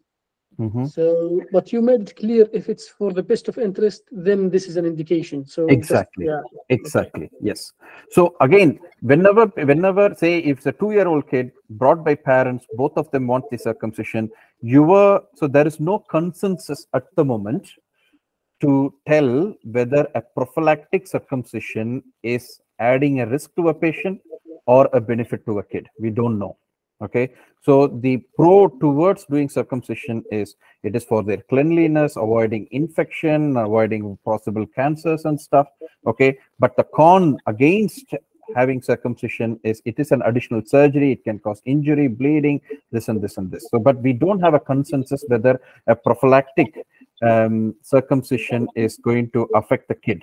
Okay, so but Yeah. you need to, as a clinician, you need to speak to the parents and tell these are the risks and benefits and we don't know whether it is going to uh, help the kid or make the kid suffer and then you go ahead and make a decision this is how uh, the non-therapeutic circumcision is usually done okay good amir you have any questions Yes. Uh, regard so if a two-year-old with with both parents uh, agree to circumcision, I can go with the circumcision. That's the verdict. Let's say. yes so if the parents Yes. say yes yes after Yeah. accepting the, the the risk and the benefit if they tell Mm. yes you can go ahead yes The the other thing about the Fraser guidelines, you said 16 years. That's the Yeah. age. Yeah. yeah Okay. yeah Thank you. Thank you so much. yeah, yeah. Right. So who wants to make the take the next scenario? Let us go. Okay, Mohammed. Can you unmute yourself, Mohammed? Right, Mohammed. So again, this uh, you are in a clinic, okay, and you have a patient referred by a physician, a GP, general physician, okay, a 42-year-old female, okay, who had vague abdominal pain, okay, and they have done an ultrasound scan which didn't show anything okay but patient is having constant abdominal pain has been referred to you for further evaluation okay so you have taken a history okay the history is unremarkable okay patient doesn't have much of a problem but constant abdominal discomfort okay and you do a blood test also all the blood tests are within normal limits okay how will you proceed from there So first of all, I will um, uh, assess the patient. So I will ask like a thorough history about the pain. Uh, when does it start? What All done. it? all done you have to, Okay. i've told everything yeah Yeah. and whereabouts is the pain? Which quadrant? This the because It- this it is, is very, a- yeah, it is an upper abdominal discomfort. okay, okay. Um, and it's not related to any type of food or anything. No. No. Okay, so, so ne- the next step is I'm going to um, try to do some investigations. Basic blood tests are normal. So the next step for me is uh, a CT scan uh, to just check if any if there is any structural abnormalities um, in her uh, tummy. Fine. What CT scan you will do? Uh, CT uh, abdomen and pelvis with uh, IV and oral contrast. Okay. Why do you want the oral contrast? Because she's got she's got abdominal pain and I don't know what's the reason. So I just want to check the bowel and I want to Fine. check the So the when you when you just ask for an IV contrast, okay, what phase is included in the CT scan in general? uh, so there should be non-contrast phase Mhm. and the contrast phase. Yeah, what is when when I say contrast phase, there are how many? There are various types of contrast phases. So when you just ask a CT abdomen and pelvis with IV contrast, what phase is given to you? What are Uh, the phases ven- of the the venous, contrast? the venous one. So so so for a triphasic, there is like an non-contrast arterial phase, venous phase, and delayed phase. Okay. But for the for the normal one, the one we do with IV contrast, it will be the venous phase, like non-contrast and venous. Then what is a pancreatic protocol? So pancreatic protocol is a triphasic CT scan to look at the structure of the pancreas. Uh, uh, and usually we request that if we're suspecting pancreatic cancer, we want to know uh, if this lesion, uh, uh, sorry, the um, if, if that lesion is uh, having any relationship with the portal vein. That's fine. It's- But how is it how is it different from the triple phase which you told before? So it's a triple phase dedicated to the pancreas. So Yeah, the cuts, how is it different? The cuts, the cuts um, in the in the pancreatic area is just next to each other, like like the the slices are are nearer to each other, to, so that they can get um, a better view of the pancreas. Are you sure about that? That's my So all the all the CT scan when you see they'll give a one millimeter cut and a three millimeter cuts. Yeah, Okay. yeah. So what is the pancreatic protocol then? Um, what I know Fine. is it's a That's okay. So you asked for a. Okay, fine. Why am I not? Let me share the screen.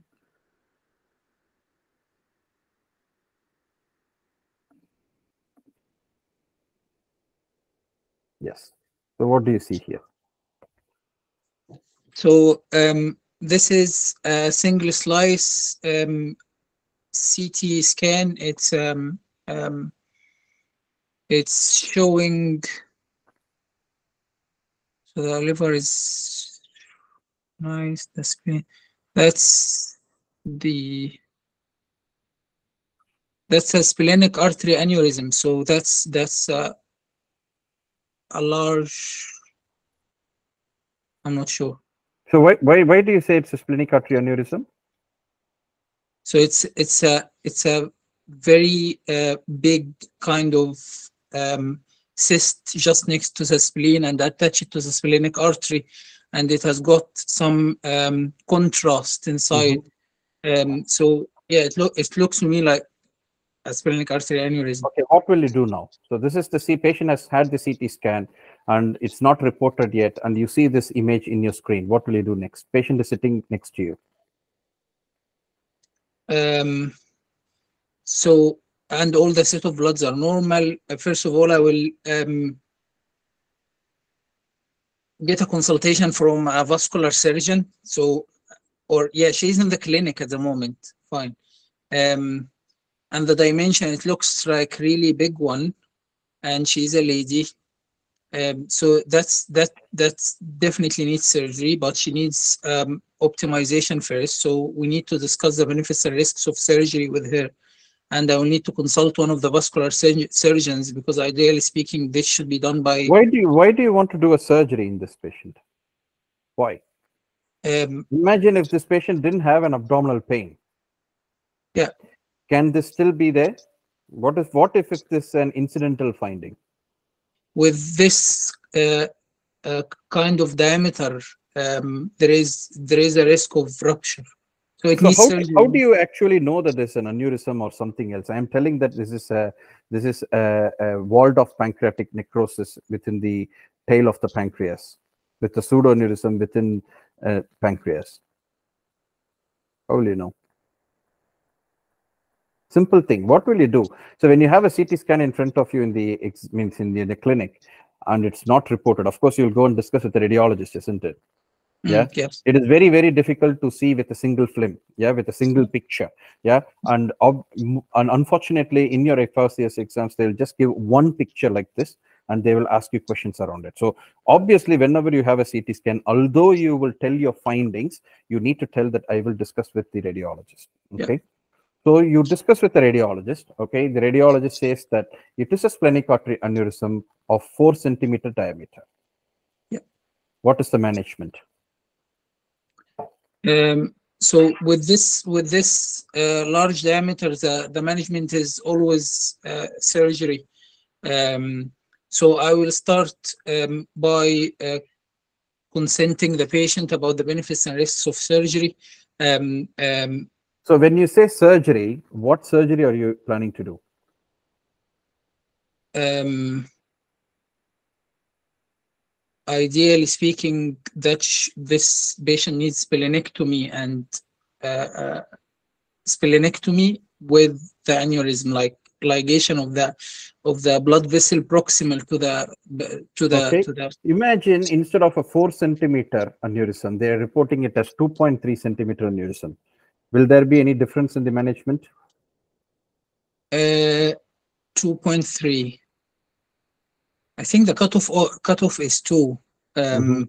So 2.3 will still need surgery um, for this lady. Yeah. Okay. So how will you differentiate in the CT scan, okay, whether it's a true aneurysm or a pseudo aneurysm? Uh, the true the true aneurysm uh, should have like full layers of the blood vessels because it's a true aneurysm, but the the false aneurysm will will have only the the external like kind of um, adventitia of so it, it won't contain like the the the all uh, layers of the blood vessel. That's fine. Imagine if this splenic artery, instead of uh, 4 centimeter aneurysm, they're reporting it as an 1.8 centimeter pseudoaneurysm. What will you do? So um, if she's a male, if she is a, she is a lady, she's 42, so she's still a little bit in the childbearing period. I will ask about her uh, uh, her period is still going on or not. Um, and if her period is still going on, um, then uh, she will need surgery because if she gets pregnant, that will be high risk for uh, for rupture. Okay, so instead of this splenic artery aneurysm, you do a CT scan in the same patient and they report it as 2 centimeter hepatic artery aneurysm. um, I will discuss with the interventional radiologist to ask if they can uh, embolize or coil this uh, hepatic artery aneurysm. Why, why do you want to coil or embolize the hepatic artery aneurysm and not the splenic artery aneurysm? So it didn't came it didn't come to my mind when you asked me that the Okay, first so question. now, now, now it came to your mind. Good. Yes. Okay, now, so now you want to change your plan. So you want to embolize the splenic artery Yes. aneurysm. Yes. So if you embolize the splenic artery, what will happen to the spleen? Um, it will uh, shrink in size um, and it will uh, end up with atrophy. Mhm. Do you think that uh, is there any other way in which the spleen can still survive? Um, I don't know. Imagine you go and do, uh, say, a left hemicolectomy for something, okay? And Yeah. while doing some procedure, you injure the splenic artery and the splenic artery is bleeding, okay, for some reason. And you tie up the splenic artery. Yeah. The spleen will survive or not?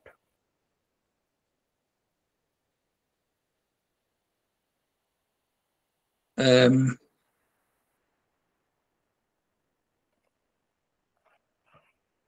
Okay, what is what is Warshaw technique? Or what is the Warshaw principle of preserving the spleen? uh, I don't know. Okay, fine. Are you aware of any guidelines around it? The the the aneurysms and splenic artery aneurysms and these things? No. Okay, fine. We'll stop here. Okay. So good. It was a good attempt. Means the good thing is you picked up that it's a, it's a splenic artery aneurysm first of all, which itself is very good.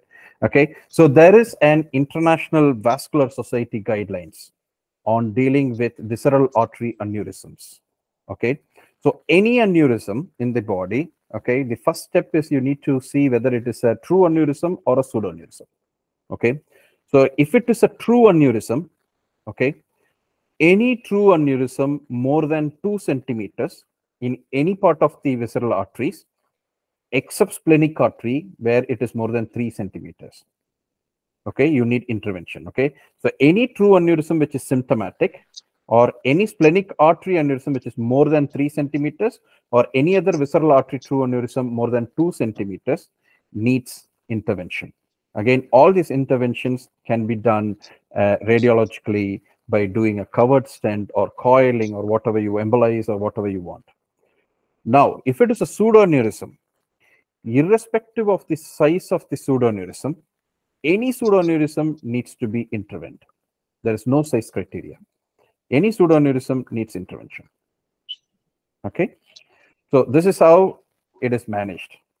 Okay, um, uh, yeah. So even when you tie up the splenic artery, the the the spleen can still survive through short gastric vessels okay? But i'm not telling that it, the, the, the spleen will entirely survive but it is expected to survive.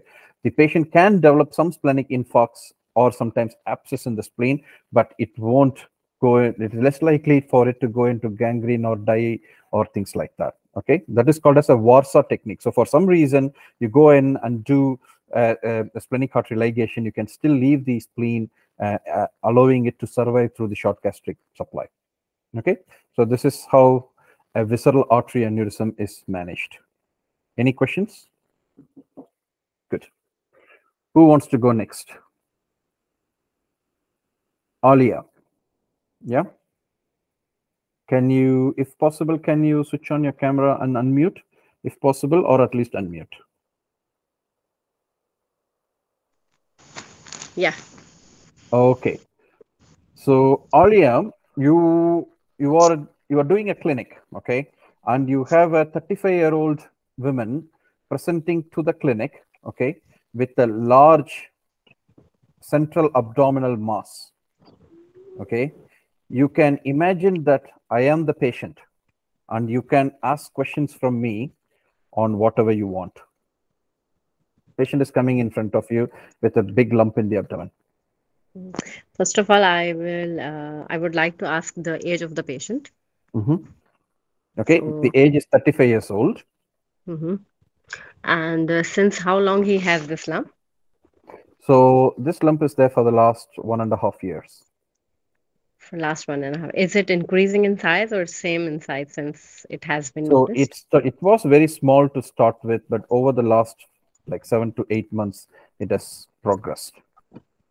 Can you recall how it happened? Like it was gradual or Yes, sudden? I, I was absolutely fine uh, until one and a half years back, and then I started looking at means having a small swelling, and then which was gradually growing. I didn't note about that, but in the last five six months, it is rapidly growing, and I have been having some abdominal discomfort. Uh, do you remember what was the last thing that you were doing when you first time noticed the lump? I was not doing anything. I just noticed incidentally. Just noticed incidentally. Was it associated with pain? Means not in the last eight or nine months, but the last in the two three months, I'm having some discomfort, no much pain. Okay. And uh, there was any associated symptoms other than that? Nausea, vomiting, weight no. loss, No, hematemesis, No. melena? Nothing was. And um, uh, do you have any other associated lumps in the body? no, Any family history of such problem? no. No. Uh, what about your appetite? Is it good or you lost your appetite or It's it's normal. I, my appetite is okay. bowel habits? Normal. And uh, have you ever noticed any change in the color of the uh, No. skin the lump? No. No. Uh, have you ever noticed the consistency, how it looks like? Mm, means it is it is firm according to me. And it remains same throughout, yeah? Yeah. Or it remains same throughout. And um, now you are having the pain is like uh, you have what type of the pain you have for the past few months? Means I would say it's just a discomfort. It's just a discomfort, and it's always there, or it's related to something? Means I would say it's always there. It's always there. Anything that aggravates the size of the lump or discomfort? No. Do you think it's relieved by anything? No. No. And do you have any history of uh, unusual fever? No. No. Okay, so after asking all these questions, uh, I would like to examine the patient. Okay. Let me show the picture. Right. Yeah.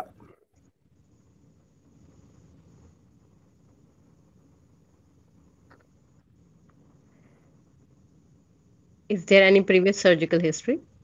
Oh yes. So when I was as a kid, like 17 or 18 years old, they did a surgery in my tummy for a problem in my large intestine. But you don't remember exactly what it was. No. Uh, do you remember of taking any part of the intestine at that time? Means they told that they have removed a quite a, quite amount of large intestine. Large, uh, did they mention you clearly it was large or small intestine? I remember it's large intestine. And did they show you, did they check that in the laboratory? What was the result? What I was the thing? I am thing? not sure. Means they, the doctors checked that and they told me to come and check. Um, I did some scans for six months after the surgery, and I had some camera tests from the back.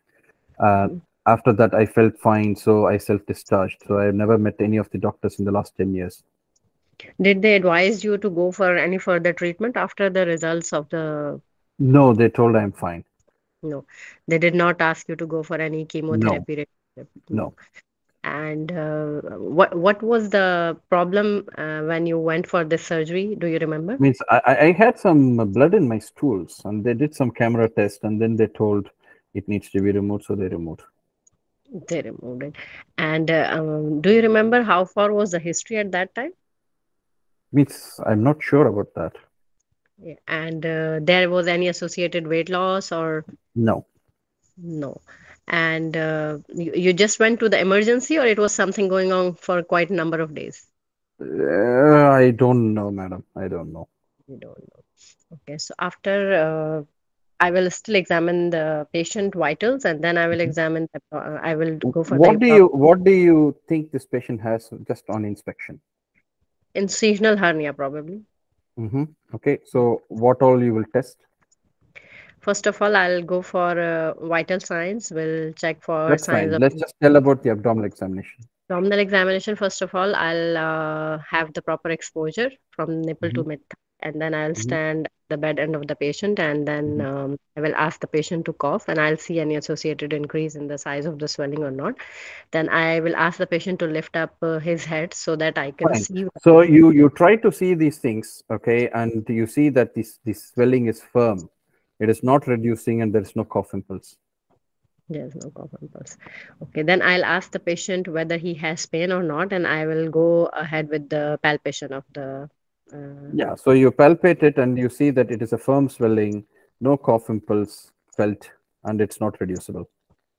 It's not even when the patient is lifting up the head. Yeah, No. it's not reducible. And I'll go for um, fluid thrill, shifting dullness, then auscultation of bowel sounds, and then I will go to examine the associated lymphadenopathy. All normal. There is no free fluid. Bowel sounds normal. No lymphadenopathy. Then I will do a PR examination. No findings. Normal. Fine. And um, I would I will also examine the swelling itself, uh, consistency, margins, and Yeah. uh, As I told, it's a firm mass. Mhm. The margins are like it's not well defined. mhm. Yeah. Not reducible. No cough impulse felt. I'll what do you for think is a differential diagnosis at this point? uh, it could be a still it can be a, an irreducible uh, incisional hernia. Mhm. It can be a desmoid tumor. It can be uh, a mass, uh, Mhm. whether associated with the layers of the abdomen, or it can Fine. be. So what would you like to do next? After I examined all that, I will go for a CT scan of the abdomen. This is the CT. Okay. It shows What is the CT scan, first of all? contrast, enhanced abdominal scan. Okay. Contrast, yeah, that's fine. Is it with IV contrast, oral contrast, rectal contrast? Uh, we can give all of them IV, oral, and rectal. No, what was given in this case is what I'm tapping. this case is given um, a CT scan with oral contrast, oral and IV. Okay. What do you see here? I see here there is a mass. Apparently, looks like it's uh, in the muscular wall of the abdominal cavity. Mhm. It uh, looks well defined, homogeneous, and uh, apparently, if there is no enhancement of the uh, mass and the peritoneum is intact, so Mhm. it's not hernia, but it is only the one cut. So definitely, I would like to see the entire film, and uh, I will discuss with the radiologist. Yeah. So what do you think is this? It could be a desmoid tumor, hmm and uh, Okay. So you you went and discussed with the radiologist. Okay. As you told the radiologist say, said that it is a well circumscribed lesion in the abdominal wall, and the differential diagnosis includes a hematoma, a lipoma, a desmoid tumor. mhm. hematoma would be unlikely in this case, I will say, because there is no recent history of trauma, Mhm. and it's there for quite a number of years. And similarly, I will not uh, think the clinical scenario doesn't go with the lipoma also because it uh, the consistency doesn't go in the favor and it's uh, not reducible also. Like Mhm. uh, I'll I'll still think more in the favor of desmoid tumor. Okay, what will you do next? Uh, for the desmoid tumor, I'll ask the um, other history because specifically he gave the history that he had uh, some pathology when he was a child. So Mhm. just rule out What uh, what pathology you think would have happened if it is a desmoid tumor? uh, Gardner syndrome, like uh, associated. What is Gardner syndrome?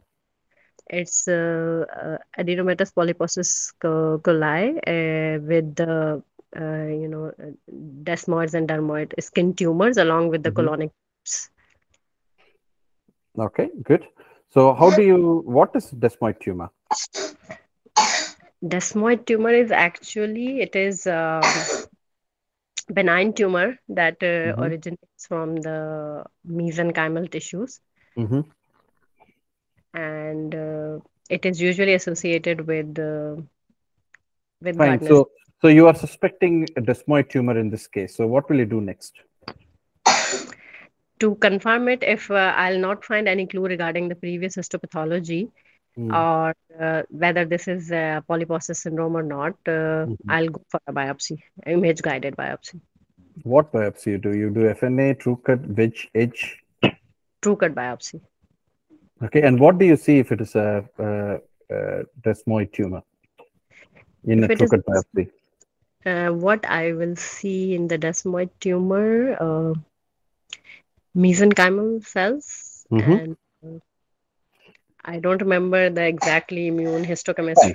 So you, you you see the histopathology and they have said that there is a fibroblast proliferation suggestive of desmoid tumor. Okay, Mhm. so what Yeah. is the treatment for desmoid tumor? Actually, if the desmoid tumor is small and it's not symptomatic, we usually don't go for excision. But if it is symptomatic or it's causing trouble for the patient, uh, then we will go for excision. What other management options are available apart from observation and surgery? Apart from Is your kid okay? Is your kid or someone Yeah, yeah. So, okay?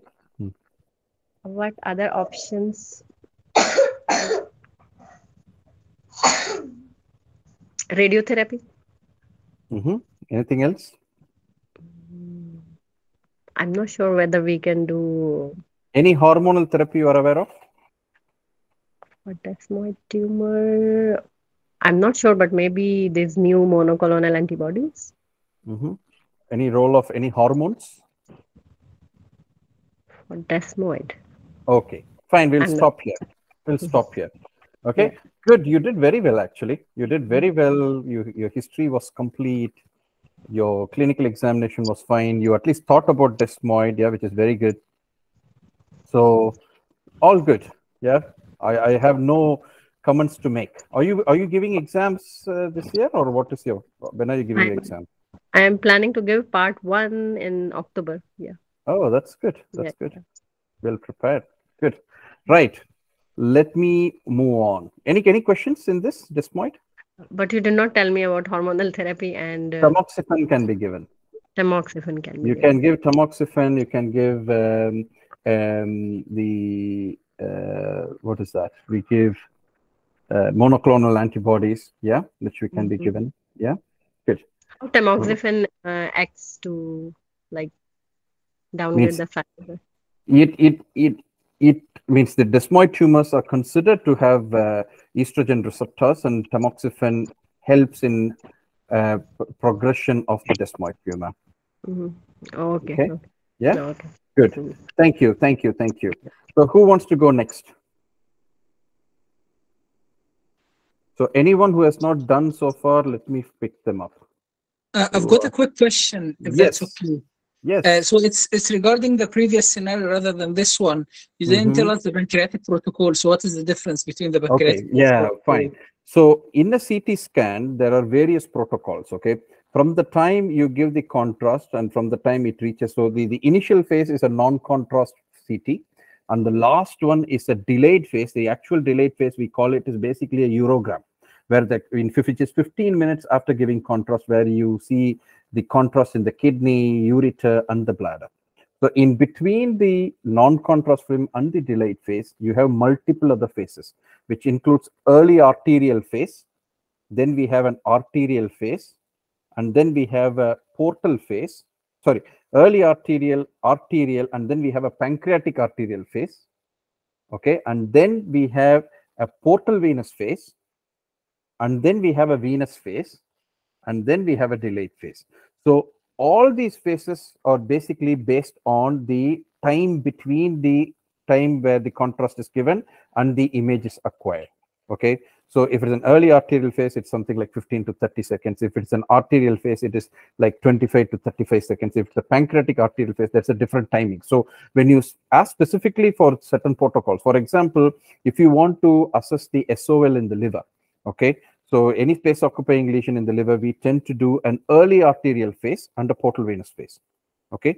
When we want to do, uh, if you if you say uh, just an CT with IV contrast, okay, the CT which usually taken is a CT which is in the venous phase. That's what they take. Okay. And if you want to do a pancreatic protocol, we will have a non-contrast CT and a pancreatic arterial phase and a portal venous phase. So this is the difference. It's not based on the, the millimeter of slices which we make on the uh, images. Okay, good. Okay, so for the want of time, I'm going to restrict with one more scenario and stop. Let me find a good scenario which will be good. Uh, fine. Okay, fine. Uh, so who wants to go next? Uh, means I want someone who has not answered. Anil Kumar, you want to go? You want to answer? Okay, he's not unmuting also.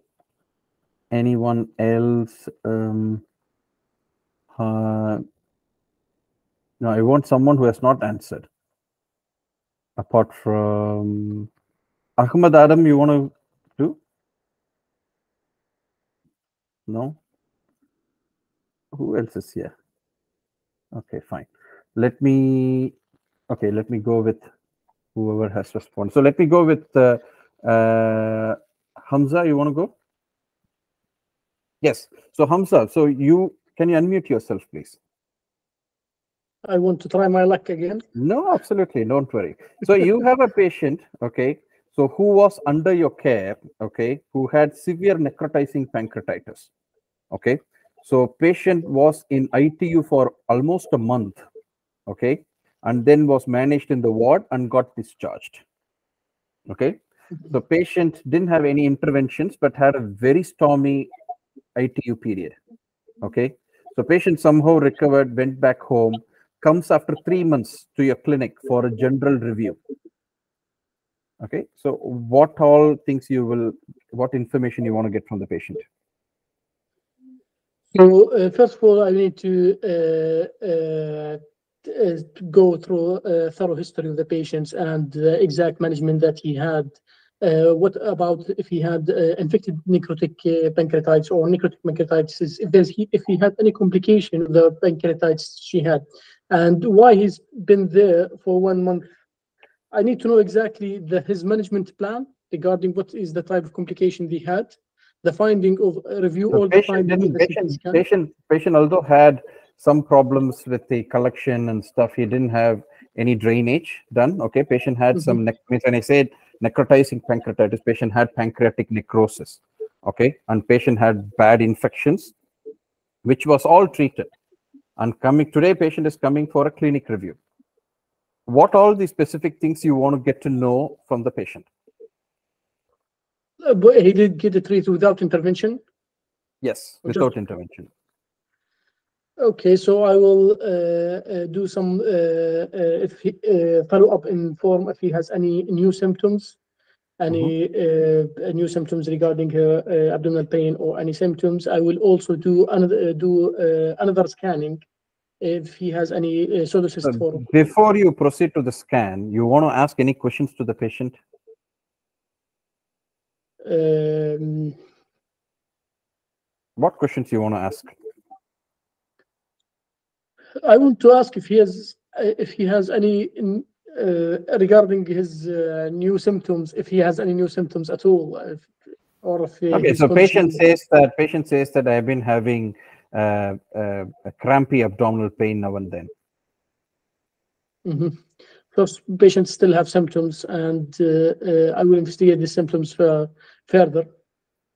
I Sorry? will uh, I will investigate the symptoms further. So I need to uh, uh, take also thorough history from this uh, just pain and uh, exactly the type of the pain. Do What are the what are the causes of a crampy abdominal pain in a patient three months post severe pancreatitis?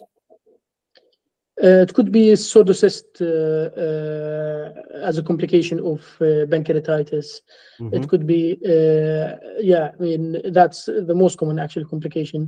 Uh, but I will also uh, rule out any other complication of the pancreatitis, any Like? uh, fluid, uh, walled of necrosis, uh, sterile fluid collection, or uh, infected fluid collection.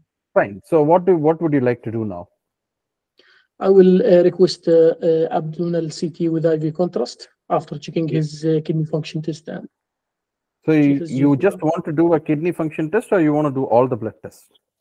no, I will do all the blood tests. I will also uh, request uh, uh, full uh, uh, blood test and chemistry uh, and also pancreatic enzymes. We'll also look, uh, uh, yeah. Fine. So you do you do you do the routine bloods, okay? And you see that patient's platelet count is more than thousand. Mhm. So, what do you uh, think is the thrombocytosis- reason? So thrombocytosis is uh, uh, also a sign of uh, septic response. Mhm. So Anything uh, else? Anything else? Patient is not septic. Patient doesn't have any fever, nothing. mhm. What else could be the reason for thrombocytosis in this clinical scenario? Uh, I'm not sure. Sorry. Okay. What else you want to look for in the blood test in a patient like this? We'll uh, look to the uh, inflammatory markers and also uh, look for any uh, tumor markers, uh, as this patient has uh, recurrent history. It could be uh, underlying malignancy. Okay. So how, how common it is patient with recurrent acute pancreatitis developing cancer within three months or two months? Uh, can you repeat it again, please? No, how common it is a patient who got recently admitted two months back. Obviously, would have done multiple scans which didn't pick up a cancer for him to develop a cancer now within two months. Uh, it's unlikely, uh, but Okay. I'm uh, I'm in the form. Yeah. If, if Fine. We, if we So you have done a CT scan, and this is what you see. Okay. So this is uh, a slice of uh, an abdominal CT with IV contrast showed. Uh, I actually I need to discuss this with the radiologist and also look to the other slice of this axial. But what Uh, do you CT see first? Obviously, you as a surgeon, you need to find something in a CT before you speak to the radiologist. Yes, exactly. Uh, I will, uh, I, as uh, obviously here there is uh, uh, an abnormal uh, abnormality uh, in the pancreas. Uh, there is a fat stranding along with uh, some fluid collection involving What- the pancreas. What is what do you see in the pancreas? I think there is, uh, uh, I think there could be, uh, there is a fluid collection. Most Mhm. likely it's a pseudocyst. Mhm. So when will you call a collection in the pancreas a pseudocyst? I am telling that it is an acute peripancreatic collection secondary to inflammation. I'm telling it's not pseudocyst. When will you call a collection as a pseudocyst? Uh, a pseudocyst is uh, when you have uh, uh, uh, non-granulation well-defined capsule. Uh, But how do you know that with the CT scan? you you won't, but based mostly on the uh, uh, the duration. The patient is three months, so most likely uh, it's a pseudocyst, not an acute So fluid collection. When what is the the Four cutoff weeks. duration? Sorry, Four weeks. four weeks exactly. So how will you know that this is a pseudocyst and not walled off pancreatic necrosis?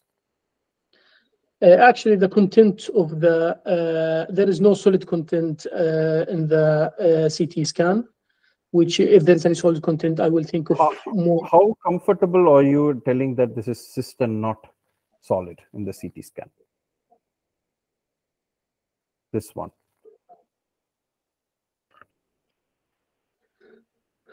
Uh, actually, um, uh, uh, that's also, I will be more comfortable discussing this with the radiologist and take all the uh, picture and all the sliding skills just to make Fine. sure. Fine. So, what is the best investigation of choice to differentiate a pseudocyst from walled off pancreatic necrosis? Uh, you will go for MRI scan. hmm Okay, fine. So, and that will give the MRI says that it is a walled off pancreatic necrosis. Okay. Mhm. So, so the patient's presenting problem at this point is crampy abdominal pain. Can this walled off pancreatic necrosis explain that pain, or do you want to think of any other cause of pain? So, uh, uh, walled of uh, necrosis uh, is one actually of the cause pain, but I think also in the CT there is another abnormalities Mhm. uh, behind the. Uh, can I see again, please, the CT? There is something behind the spleen.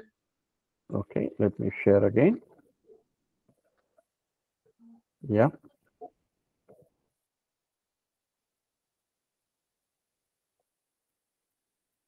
So that uh, area behind the left kidney, there is some Mhm. collection here behind the left Yeah. kidney, which could Yeah. suggest another pathology.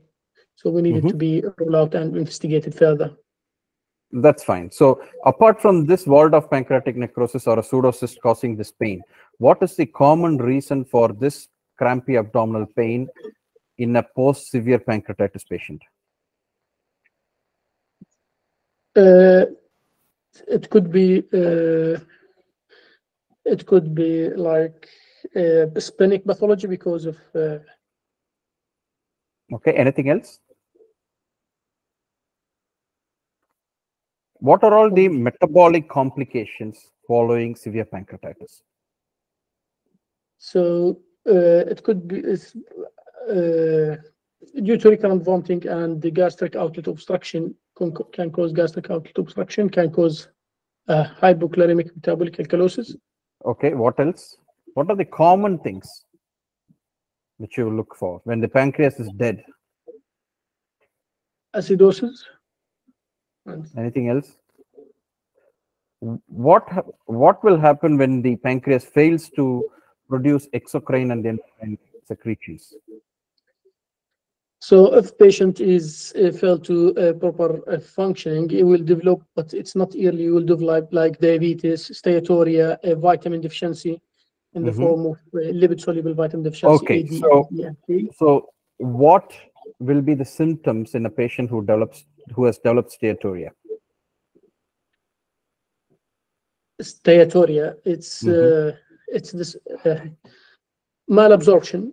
Yeah, it will be malabsorption of vitamin uh, of vitamin, mainly lipid soluble vitamin.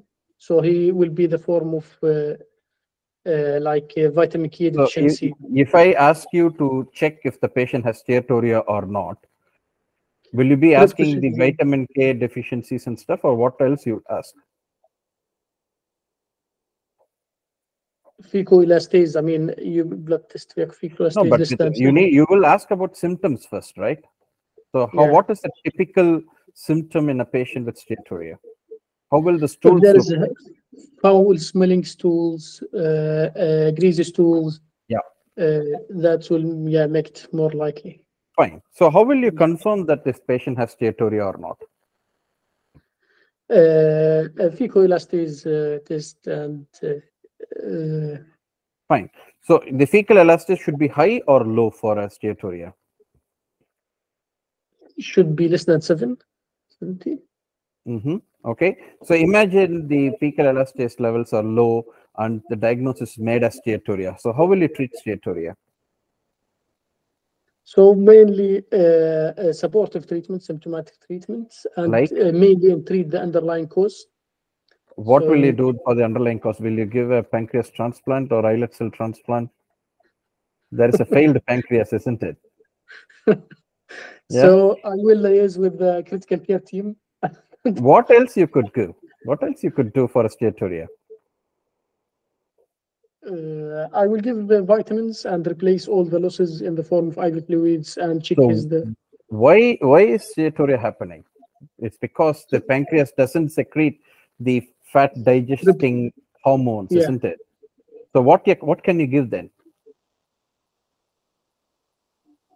You can give pancreatic enzyme supplements. enzymes. I want to say that. You want to say that? Okay, fine. So you need to give pancreatic enzyme supplements. Okay. Are you aware of Yeah. any names which we commonly use?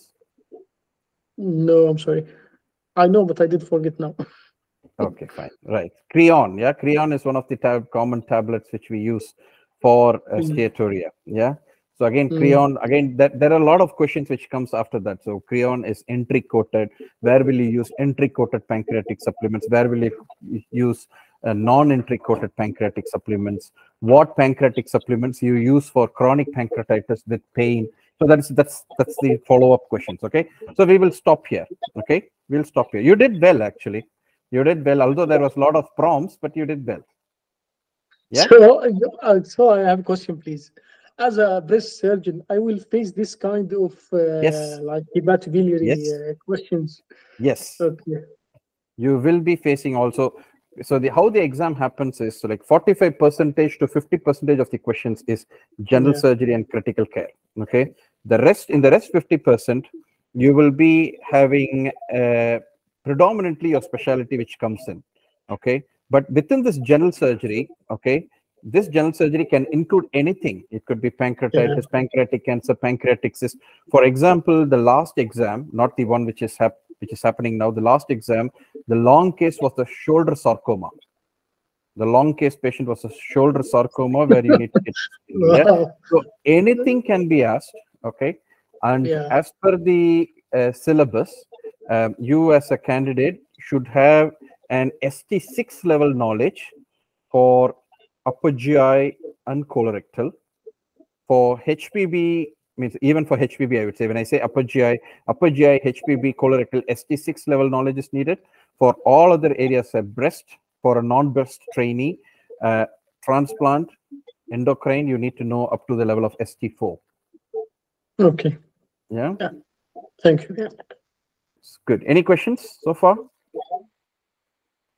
Right. So let me just finish off with few slides for today. Uh, let me put that. Let me share my entire screen.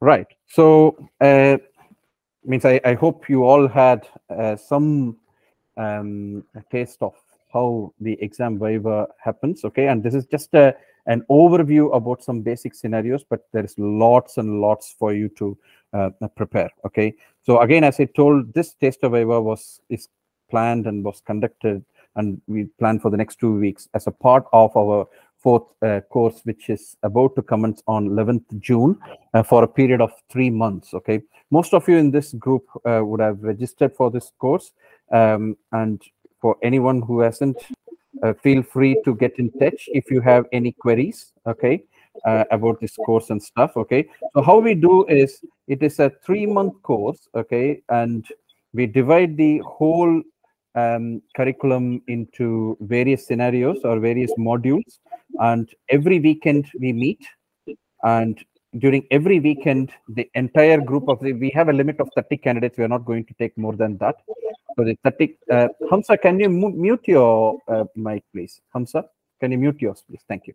So every weekend um, we will have one module okay and 30 candidates is our limit. And this 30 candidates will be divided into three groups and each group will be allocated a mentor. And we won't be teaching much but we will be putting scenarios asking the candidates to answer correcting them and teach them. So this is the entire way of preparation for all the uh, subspecialties or the specialities okay? So for example if it is a general surgery uh, a candidate means there'll be three groups there'll be three faculties and each group will go into 20 scenarios okay? Um, and all these scenarios will be uh, recorded and it will be available for you to review. So when you finish the general surgery module um, a candidate would have participated or witnessed 20 scenarios uh, in a day means 40 scenarios in two days and will have recordings of further 30 or 40 scenarios for them to review okay? Uh, i can assure you that there won't be much of scenarios which could come in general surgery. The same thing we follow in upper gi surgery and hpb surgery. When it goes to the specialty what happens is the specialty candidate will be separated and that specialty candidate will be sitting with the specialty faculty and the, he will be um, um, vivaed for like four hours or five hours for two days.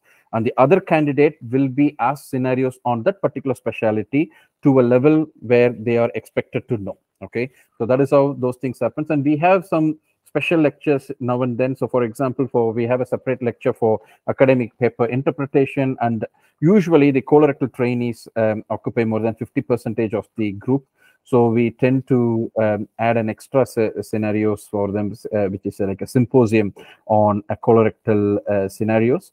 Um, and then we have a separate session for um, radiology as well.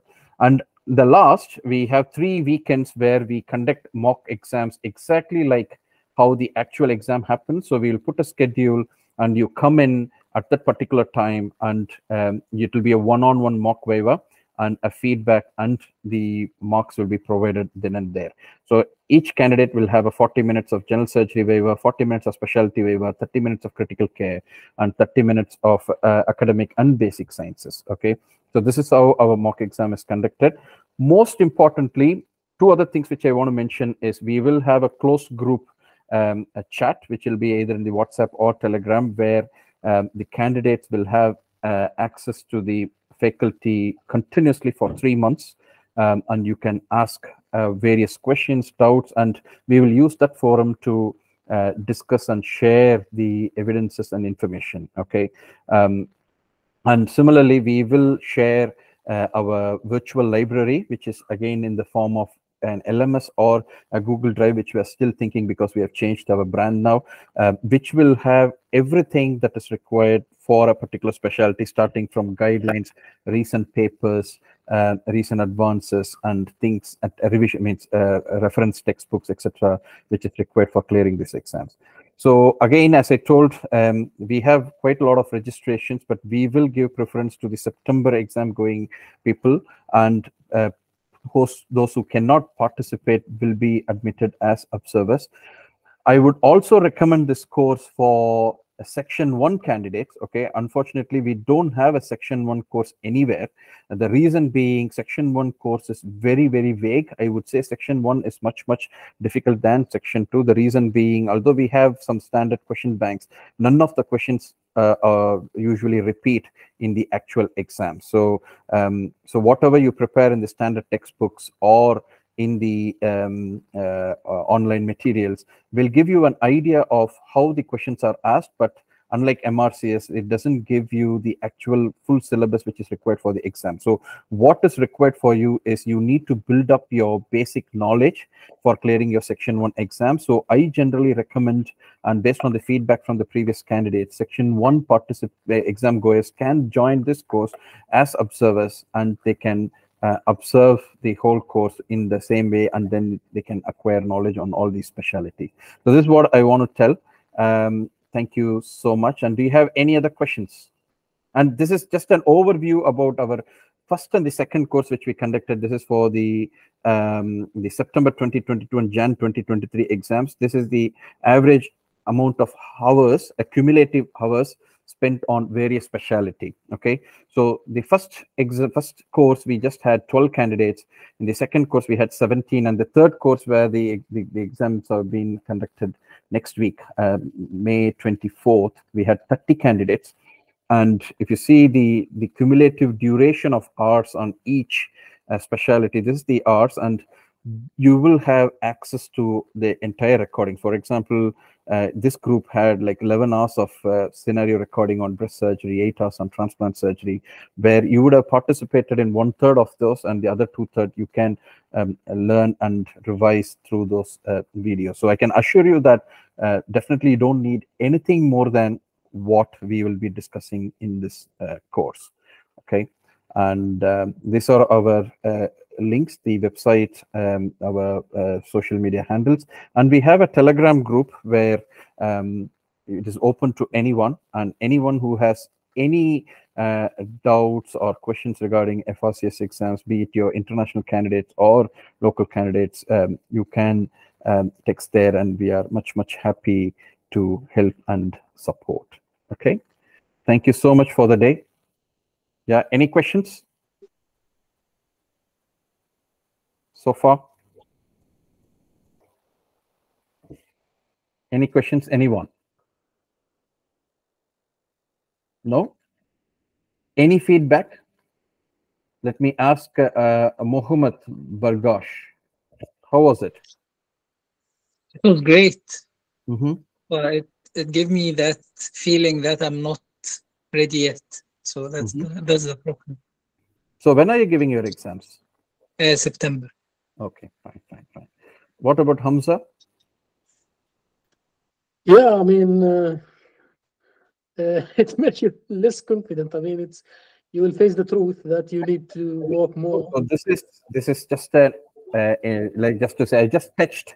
It's whatever you saw saw it's something like a a small tip of an iceberg of the scenarios. Okay, there are a lot many to prepare. Okay, again, it is impossible for you to go through all the textbooks and stuff to gain your knowledge.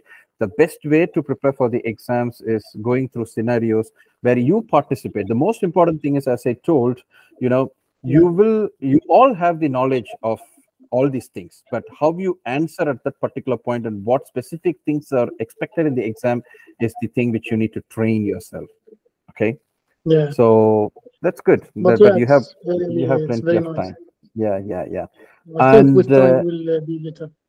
yes uh sharanya you want to add anything Hopefully, it is a good experience so that we don't just freeze on the day of exam. Maybe yeah yeah we know the answers, but not form the words properly, like fine tuning the flow. Good. So others, many of you haven't uh, switched on your camera even. Okay. I hope in the next two sessions, probably you can uh, volunteer yourself. Okay. Don't feel bad. Okay. And whatever way I question here is not to uh, irritate you or make you feel stressed, but this is exactly how in the exam, the examiners will irritate you. Okay. So there are certain examiners who are very, very cool and they will help you and guide you. But there are often very difficult examiners who will try to pull you down with every response okay so so so, so you need to be uh, you need to develop the habit of handling this various um, uh, uh, kind of examiners. Uh, and uh, of course means it means people who has participated in the course you will know how different people react okay? So that's that's again an important thing where you need to practice with different group of people on different topics okay? You need to have a cool person you need to have a very very harsh person you need to have a colleague you can help and give so many prompts. So you need to have a lot of practice in very with dealing with different people okay? That will make you a strong um, person actually okay? Good Just one question, please. Yes. Uh, The, the, the one that we will do for hepatobiliary, uh, it's Mhm. only designed for a hepatobiliary trainee or any trainee? No, no, no. So that's what I told. So if it is HPB on a particular weekend, okay, there will be group A where the HPB trainees will be in that room with the HPB faculty. And for them, Yeah, the depth of discussion will be in deep. Okay, they'll be discussing about all the trials, all the recent evidences and stuff, which will be equivalent to an ST8 level. But a non-HPB trainee will be in a general group where a HPB faculty will come and ask you this common scenarios which is expected for you in HPB. And again, the depth of discussion won't be unnecessarily into trials and evidences. You will be just discussing to a level which is expected in the exam. Same thing with Thank you. endocrine surgery, same with vascular surgery, everything. thank you very much. Yeah, yeah. Henry, you have any question? Yeah, you said there was a Telegram group. How do we? Is there a link for that, or how do we get that? So I will I will put it up in the means I think it's there in the chat group, but what I will do is uh, you can click that link and you can join in the Telegram group, or I will share in the group. Okay, and then you can join. Okay. And then the other question I had was um, this session. Do we have um, access to this recording of today's Yes. session? So what I'm so oh yeah, this I should have told at the beginning.